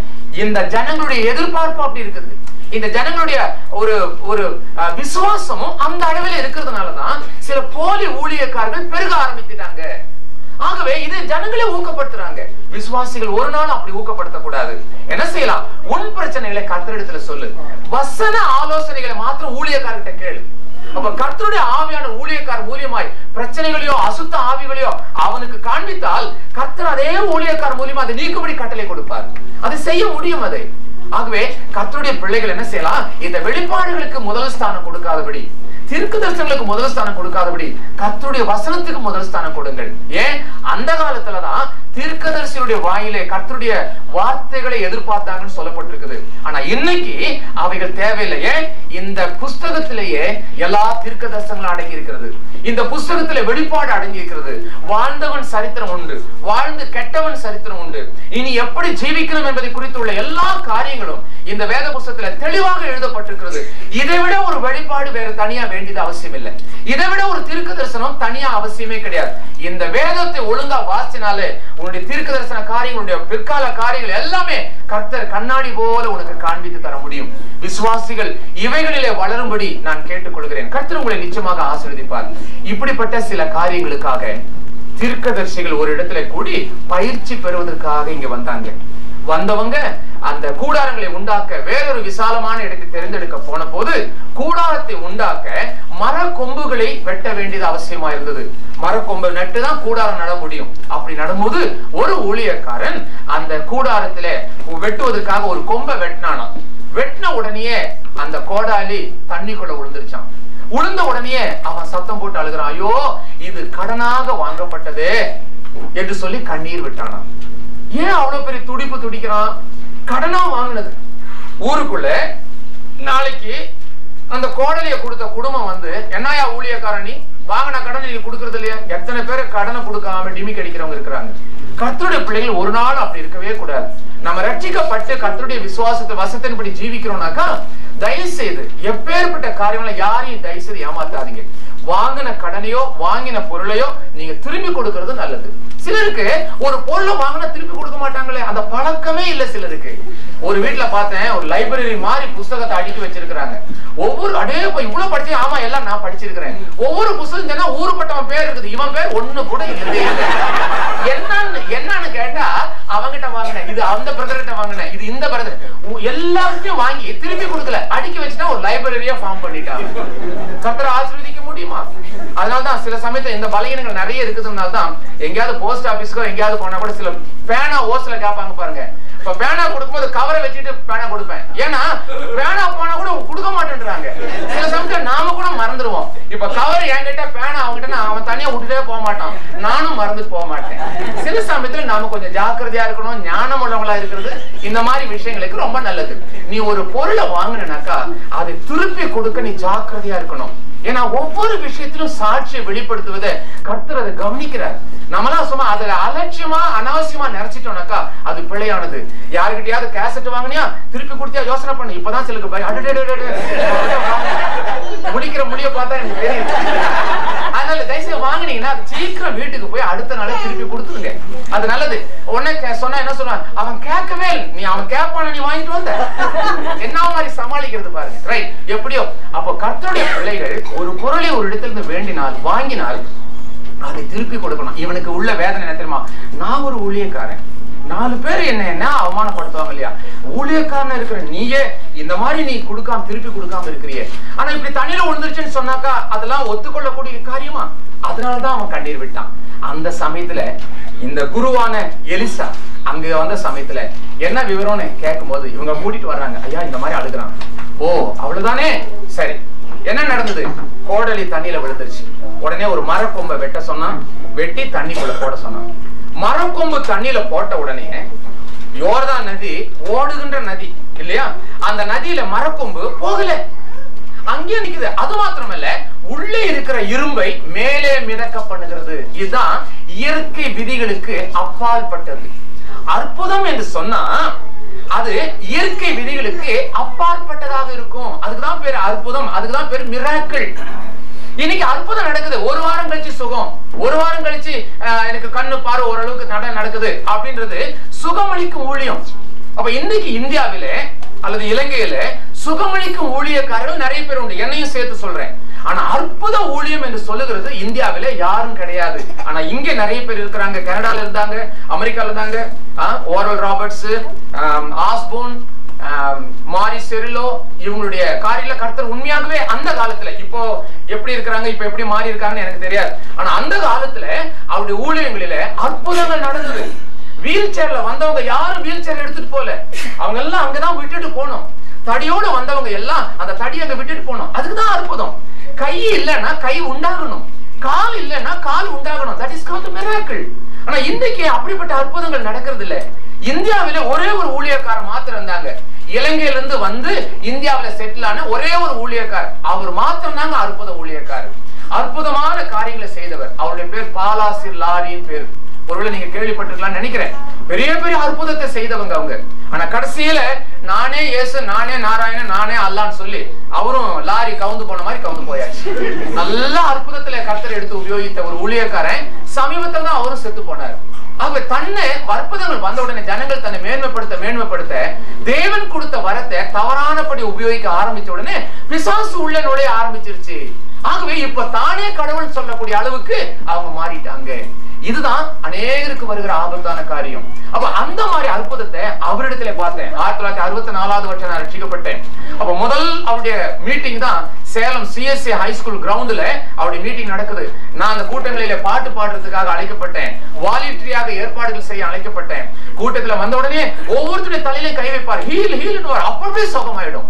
அதெல்லாம் முடிச்சிட்டு அவர் கார்ல ஏறி உட்கார்ந்தார் உட்கார்ந்த உடனே ஒருத்தன் என்ன பண்ணா ரெண்டு தடியை வச்சுட்டு ஐயா எனக்கு ஜெபிக்கலையா? என்னை யாரும் இங்க கொண்டு போகலையா? என்ன ஜெபிக்கவே இல்லையே. அவனு டைமை பச்சு சரி விடு விடு. அவர் புறப்படுறாரு. உடனே கண்ணாடி மேலே தூக்கிட்டாங்க. ஏன்னா எல்லாம் கைய விடுறாங்கன்னு சொல்லிட்டு கார் ஜன்ன கண்ணாடியை தூக்கிட்டாரு. தூக்கிட்டு வண்டி புறப்பட போகுது அப்ப எனக்கு ஜபம் பண்ண மாட்டீங்களா? எனக்கு சுகம் கிடைக்காதா? இப்படி சொல்லிட்டு என்ன பண்ணாரு? ஆளுகள் எல்லாம் தள்ளிட்டு அந்த காரை தொட்டாருங்க. அப்படியே ஹீல் ஆகி போச்சு காரை தொட்ட உடனேயே அற்புதமான சுகம் கிடைச்ச உடனே முதல்ல அவன் என்ன செஞ்சான் தெரியுமா? தான் தாங்கி வந்த அந்த ரெண்டு குச்சியை எடுத்து காலிலேயே முறிச்சு தூரம் தூக்கி போட்டுட்டு என்னென்னமோ உளறிட்டு போறாயா. அவனுக்கு ஆலோசனை இது ஏசு செய்தான்னு சொல்ல யாரும் இல்லை. நாங்க பின்னாடி தான் அவனை கண்டுபிடிச்சு இயேசு பத்தி சொன்னமே தவிர அப்ப அவனுக்கு தெரியாது. ஆனா தேவனை துதித்தான். கடவுள் ஒருத்தர் உண்டு. அற்புதங்களை செய்கிறார் என்பதை அவன் திட்டவட்டமாக உணர்ந்து ஆண்டவரை துதித்தான். அப்படி அற்புதம் செய்கிற காரை தொட்டு சுகமாக்குற அளவுக்கு அந்த ஊழியக்காரனை கர்த்தர் உபயோகப்படுத்தினார். அதுதான் பேர் அற்புதம். அதுதான் பேர் அதிசயம். இல்லாத ஒன்று உருவாகுவதற்கு பேர் தான் அற்புதம் அதிசயம் என்று சொல்லப்படுகிறது. இங்கே இயற்கை விதிகளை மீறி வருகிறது. இரும்பு கடினமான பொருள் திடப்பொருள் கனப்பொருள் அது அமிழ்ந்துதான் போகணும் அதான் விதி. ஆனா கத்தருடைய அற்புதமானது இந்த விதியை மீறி இரும்பை மேலே கொண்டு வருகிறது. வசனம் அழகா சொல்லுது. அந்த இரும்பு மிதக்க ஆரம்பிச்ச உடனே வசனம் என்ன சொல்லுது? அவன் கைகளை நீட்டி அதை எடுத்தான். ஏன் கையை நீட்டி எடுத்தான்னு சொல்லப்பட்டிருக்குது? ஓடுகின்ற நதியில ஏதாவது ஒன்று மிதக்குமானா அங்க ஓடிச்சு அங்க ஓடிச்சு புடி புடி புடின்னு சொல்லுவாங்க. இது அப்படி அல்ல. கர்த்தருடைய அற்புதம் அவன் நீட்டி அதை எடுக்கும் வரை அந்த இரும்பு அங்கேயே நிற்கிறது. அதுதான் கர்த்தருடைய அற்புதம். அதுதான் ஒண்டர் அதுதான் மிராக்கள் அந்த காரியத்தை கர்த்தர் ஒருவர் மாத்திரமே செய்ய முடியும். அந்த பெரிய அற்புதத்தை உன்னுடைய வாழ்க்கையிலும் கர்த்தர் செய்ய முடியும். அவர் அற்புதத்தை செய்கிறவர். ஒருவேளை அரசாங்கம் இப்படி சட்டம் போட்டுச்சே என்னால முடியல. அல்லது ஒருவேளை கோர்ட் இப்படி தீர்ப்பு பண்ணிடுச்சு முடியல. ஒருவேளை இந்த வியாதி நல்லாவே ஆகாது டாக்டர்னு சொல்லிட்டாங்க. பயப்படாதே. அவர் அற்புதத்தை உண்டாக்குற தேவன். அது அன்றைக்கு மாத்திரம் அவர் செய்யவில்லை. இன்றைக்கும் செய்கிறார். அதனாலதான் அவருக்கு நேற்றும் இன்றும் என்றும் மாறாத தெய்வம். அதே அற்புதத்தை நீங்களும் இன்றைக்கு ராத்திரி எதிர்பார்க்கலாம். ஒவ்வொரு நிமிஷமும் நீங்கள் எதிர்பார்க்கலாம். ஆஹ், உகண்டா தேசத்திலே இடி அமீன் என்று சொல்லி ஒரு பெரிய அதிபர் ஒருத்தர் தான் உங்களை எல்லாம் கேள்விப்பட்டிருப்பீங்க. பயங்கர கொலகாரன் அந்த ஆட்சி நடந்து கொண்டிருக்கும் போது இந்தியாவில இருந்து ஒரு டீச்சர் ஒரு ஒரு டீச்சர் வேலை செய்கிற ஒரு சகோதரி அங்க வேலைக்காக போனாங்க. ஆனா வீட்டெல்லாம் அடமானம் வச்சு வித்துட்டு நாலு பெண் பிள்ளைகளை திருமணம் கழிக்க பணம் இல்லாததுனால எப்படியாவது நான் பணம் சம்பாரிச்சு வந்து அவளை காப்பாற்றுவேன் என்று சொல்லி அந்த சகோதரி அங்க போனாங்க. அந்த ஏரோட்ராம்ல கால் வச்ச உடனேயே அங்கு உள்நாட்டு கலகம் நிறைய ஏற்பட ஆரம்பிச்சது. அதுல அந்த இடியமனுடைய சட்டம் என்ன தெரியுமா? வெளிநாட்டு ஆளுகள் யாரும் நாட்டுக்குள்ள இருக்கக்கூடாது. இருபத்தி நாலு மணி நேரத்துக்குள்ளாக இந்த இடத்தை விட்டு அவர்கள் காலி பண்ணணும். இருபத்தி நாலு மணி நேரத்துக்குள்ள அவங்க காலி பண்ணல. இருபத்தி நாலாவது மணி நேரம் அவர்கள் ஷூட் பண்ணப்படுவார்கள். தயவு தாட்சணி இல்லாம ஷூட் பண்ணுவான். அப்ப ஏற்பட்ட அதிகாரிகள் தான் அவனோட கூட இருந்தாங்க. அதனால ஜனங்க எல்லாம் மூட்டை முடிச்சு எடுத்துட்டு ஏர்போர்ட்டுக்கு வர்றாங்க. ஷிப்புக்கு வரதுக்காக அந்த பக்கம் போறாங்க. ஒவ்வொருத்தரும் அந்த மாதிரி பல இடங்களுக்கு புறப்படுறதுக்கு அந்த தேசத்தை விட்டு வெளியே போகிறதுக்கு எல்லாரும் பிள்ளை குட்டியை கூட்டிட்டு ஓடி வர்றாங்க. ஆனா இவளோ அப்பதான் இறங்கி ஊருக்குள்ள புறப்படுறாங்க. அப்ப எல்லாரும் சொல்றாங்க என்னம்மா இங்க நடக்கிறது உனக்கு தெரியலையா? நீ கேள்விப்படலையா? வா எங்களோட வந்துரு. அவ சொல்றா நான் எங்க போவேன்? நான் திரும்ப போகிறதுக்கு எனக்கு என்ன வழி இருக்குது? நான் எல்லாத்தையும் இழந்து நான் இங்க வந்திருக்கிறேன். நான் பணத்தோட திரும்பி போகலனாக்கா என்னுடைய நாலு பிள்ளைகளுக்கும் திருமணம் நடக்காது. மாத்திரமல்ல நான் இப்ப ப- கடன் வாங்கி தான் இந்த டிக்கெட்ல வாங்கிட்டு வந்தேன். அந்த கடனை நான் திருப்பி அடு- அடு- அடைக்க முடியாது. ஆகவே செத்தா நான் இங்கே சாகுறேன். என் வாழ்ந்தா இங்கே வாழ்றேன் என்று சொல்லிட்டு எந்த அட்ரஸ்ல போய் சேரணுமோ அந்த இடத்துக்கு நேரா போனா. அந்த வீட்டுக்காரங்களாம் அப்பதான் வெளியில புறப்படுறாங்க. சாவியை கொடுத்துட்டு நீயாச்சு நாங்க சொல்லது சொல்லிட்டோம். என்று சொல்லிட்டு கொடுத்துட்டாங்க. அந்த வீட்டுக்குள்ள போய் முழங்கால் படியிட்டு அவ சொன்னான் ஆண்டவரே எங்க பார்த்தாலும் யுத்தத்தினுடைய சத்தம் நான் கேட்கிறேன். எல்லாரும் இந்த இடத்த விட்டு போறாங்க. என்னுடைய தேசத்துல இருக்கவங்களா போயிட்டாங்க. நான் ஒருத்தி மாத்திரம் இங்க இருக்கிறேன். ஏன் இருக்கிறேன்றது உங்களுக்கு தெரியும். நான் ஏன் இங்க வந்தேன்னு உங்களுக்கு தெரியும். நாலு பெண் பிள்ளைகளை திருமணம் செய்ய முடியாதபடி அவங்க கஷ்டப்படுகிற நிலைமையும் உங்களுக்கு தெரியும். அதனால தயவு செய்து அவங்களை நல்ல விதமா வாழ வைக்கணுன்றதுக்காக தான் வீட்டையே நான் அடமான வச்சு வந்திருக்கிறேன். நான் இந்த பணத்தை கொண்டு வரேன்னா என்னுடைய வீடு போயிடும். என்னுடைய பிள்ளைகள் நடுத்தருக்கு வந்துருவாங்க. என் மேல கிருபியாயிரும் சுவாமி. எப்படியாவது எனக்கு ஒரு வாழ நீர் வழி தரும். அந்த நாள் நேரம் கடந்து போச்சு. ஜனங்க எல்லாம் ரோட்ல ஓடுறாங்க. எல்லாம் ராணுவ வீரருடைய சத்தம் கேக்குது. உடனே விடிய காலம் ரெண்டு மணி. இப்போ ஒரு நிசப்தம். ரெண்டரை மணி. மூணு மணிக்கு திடீர்னு ஒரு சைரன். அந்த சைரன் ஊதுற உடனேயே ஜனங்க ராணுவத்தினர் ரோட்ல ஓடுறதும் ஜீப்புகளும் டேங்குகளும் ஓடுறதெல்லாம் சத்தம் கேக்குது. அதுல ஒரு ஆள் அனௌன்ஸ்மெண்ட் பண்ணிட்டு வர்றாரு. என்னன்னாக்கா அந்த சட்டத்தை போட்டான இந்த இடியமன் அவன் ஊரை விட்டு ஓடிட்டானா? அவனை கண்டுபிடிச்சு தர்றவங்களுக்கு இத்தனை லட்சம் டாலர் கொடுக்குறேன். அவனை உயிரோடவாவது அவனை பணமாவது கொண்டு வான் ஒரே ராத்திரிக்குள்ளேயே அரசாங்கம் மாற்றப்பட்டது. ஒரே சகோதரருடைய கண்ணீருள்ள ஜெபத்துல. அப்படிதான் நான் நம்புறேன். அந்த கண்ணீருள்ள ஜெபத்துக்கு அந்த தளபதியை மாத்திட்டார். அந்த தலைவனை மாத்திட்டார். அந்த கவர்மெண்ட்டையே அப்செட்டா தலையில மாத்தின தெய்வம். உன் பிரச்சனையை மாத்த மாட்டார். உன்னுடைய கண்ணீரை துடைக்க மாட்டார். உன்னுடைய பிள்ளையினுடைய பிரச்சனை ஆனாலும் சரி உன்னுடைய புருஷனுடைய பிரச்சனை ஆனாலும் சரி. அதான் ஆண்டவர் சொல்றாரு சகரியா புஸ்தகம் நாலாம் அதிகாரம் பன்னெண்டாவது வசனத்துல சக்தினாலும் அல்ல சைனியத்தினாலும் அல்ல என்னுடைய ஆவியினாலே அது ஆகும். Not by force not by army but my spirit அப்ப என்னுடைய ஆவி அதை செய்யும். என்னுடைய ஆவி அதை செய்யும். சோர்ந்து போகாதே. ஆக அற்புதத்தை செய்கிற தேவன் இப்பொழுதும் உயிரோடு கூட உண்டு. கண்களை மூடி நாம் செபிக்கலாம்.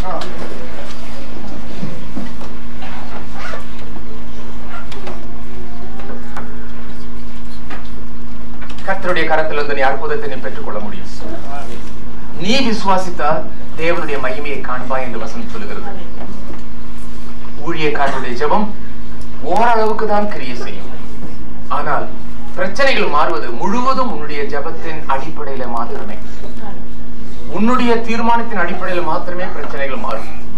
அதை நீ மனதில் வைத்துக் கொண்டு பிரச்சனைகளுக்கு தடையாய் உள்ள காரியங்கள் எல்லாம் சரிப்படுத்தும் தேவையில்லாமல் எனக்கு விரோதமாய் அவன் செய்திருப்பானா? அவள் இப்படி செய்திருப்பாளா? என்று நீ மற்றவர்களை சந்தேகப்படுவதை விட ஒவ்வொரு பிரச்சனையிலும் நீ எதை சரிப்படுத்திக் கொள்ள வேண்டும் என்பதை ஆராய்ந்து பார். அப்போதான் நீ ஆவிக்குரிய ஜீவிதத்துல வளர முடியும். பிசாசுக்கு மேன்மைக்கு இடம் கொடுக்காதே. காரணம் அவன் ஒன்றுமில்லை. அவனிலும் பெரியவர் உனக்குள் இருக்கிறார். ஆகவே உனக்குள் இருக்கிற பெரியவரை நீ மனதில நினைத்துக் கொண்டே இரு. எப்படிப்பட்ட பிரச்சனைகள் உனக்குள்ளே உன்னுடைய குடும்பத்துக்குள்ளே உன்னுடைய வீட்டுக்குள்ளே இருந்தாலும் அது வாய்க்காமலே போகும். அது வாய்க்காமலே போகும். அது வாய்க்காமலே போகும் அது எடுத்து எறிய வேண்டிய அவசியம் இல்லை அந்த பிசாசின் கட்டுகளும் பிசாசின் கிரியைகளும் வாய்க்காமலே போகும் வாய்க்காமலே போகும். தேவனுடைய ஆவி அதை செய்யும். நிச்சயமாக செய்யும். நீ விசுவாசித்தால் தேவனுடைய மகிமையை காண்பாய். கிருவியும் இறக்கமுள்ள கட்டாவே இந்த ராத்திரி வேளையிலும் கூட ஒரு அற்புதத்தை எதிர்பார்த்து காத்திருக்கணும் உண்டு சுவாமி. இந்த பிரச்சனையை நீர் கிரியை செய்தால் மாத்திரமே மாறும் என்று சொல்லி அநேக பேர் எதிர்பார்த்து கொண்டிருக்கிறார்கள். மனுஷன் மற்றொரு மனுஷனை மாற்ற முடியாது. மனமிறங்கி இந்த பிரச்சனைகளுக்கு ஒரு மாற்றத்தை தாரும். வந்தவர்கள் வந்த விதமாக போகாதபடி ஒரு பெரிய மாற்றத்தோடு இந்த இடத்தை விட்டு போக சரீரத்தில் யாருக்காவது வருத்தம் இருக்குமானால் பிரச்சனைகள் இருக்குமானால் அவைகள் எல்லாவற்றையும் இயேசுவின் நாமத்திலே நீங்க போகும்படி கட்டளை கொடுப்பாங்க உடைய பிரசனத்தினாலே நிரப்பும். பிரச்சனை இல்லாதபடி இன்னைக்கு ராத்திரி சமாதானத்தோடு உறங்க திரும்ப செய்யும் மன கவலைகளினாலும் மன பாரத்தினாலும் தூக்கம் எழுந்து சமாதானம் எழுந்து தவித்துக் கொண்டிருக்கிறவர்கள் உண்டு ராஜா. ஊரில் இருப்பவர்களை நினைத்துக் கொண்டு கலங்குகிறவர்கள் உண்டு. நாங்கள் சுகமாயிருக்கிறோம் என் குடும்பம் இந்நேரத்தில் எப்படி இருக்கிறதோ என்று கலங்குகிறவர்கள் உண்டு கர்த்தாவே.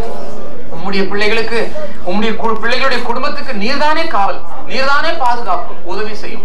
அந்த நிம்மதியோடும் சமாதானத்தோடும் இன்றைக்கு படுக்கைக்கு போகட்டும். சமாதானத்தின் தேவன் இன்றைக்கு நல்ல ஆறுதலான தூக்கத்தை நீ தரட்டும் கர்த்தாவே. தூக்கம் இழந்தவர்களுக்கு நிம்மதியான தூக்கத்தை தாரும். தூக்கம் மாத்திரை இல்லாமலே இன்றைக்கு தூங்க நீர் கிருப செய்யும் சுவாமி. கவலைகள் எல்லாம் உடைய சமூகத்தில் வைத்து விடுகிறோம். நீர் பார்த்து என்ன செய்கிறோம் அதை செய்யும். சமாதானத்தையும் நிம்மதியும் இந்த கூட்டத்திலே ஜெபித்துக் கொண்டிருக்கிற ஒவ்வொருவருக்கும் நீ தந்த அருள் இயேசு கிறிஸ்துவினுடைய கிருபையுள்ள நாமத்திலே தாழ்வியோடு விண்ணப்பம் பண்ணுகிறோம். பரிசுத்த பிதாவே. ஆமென்.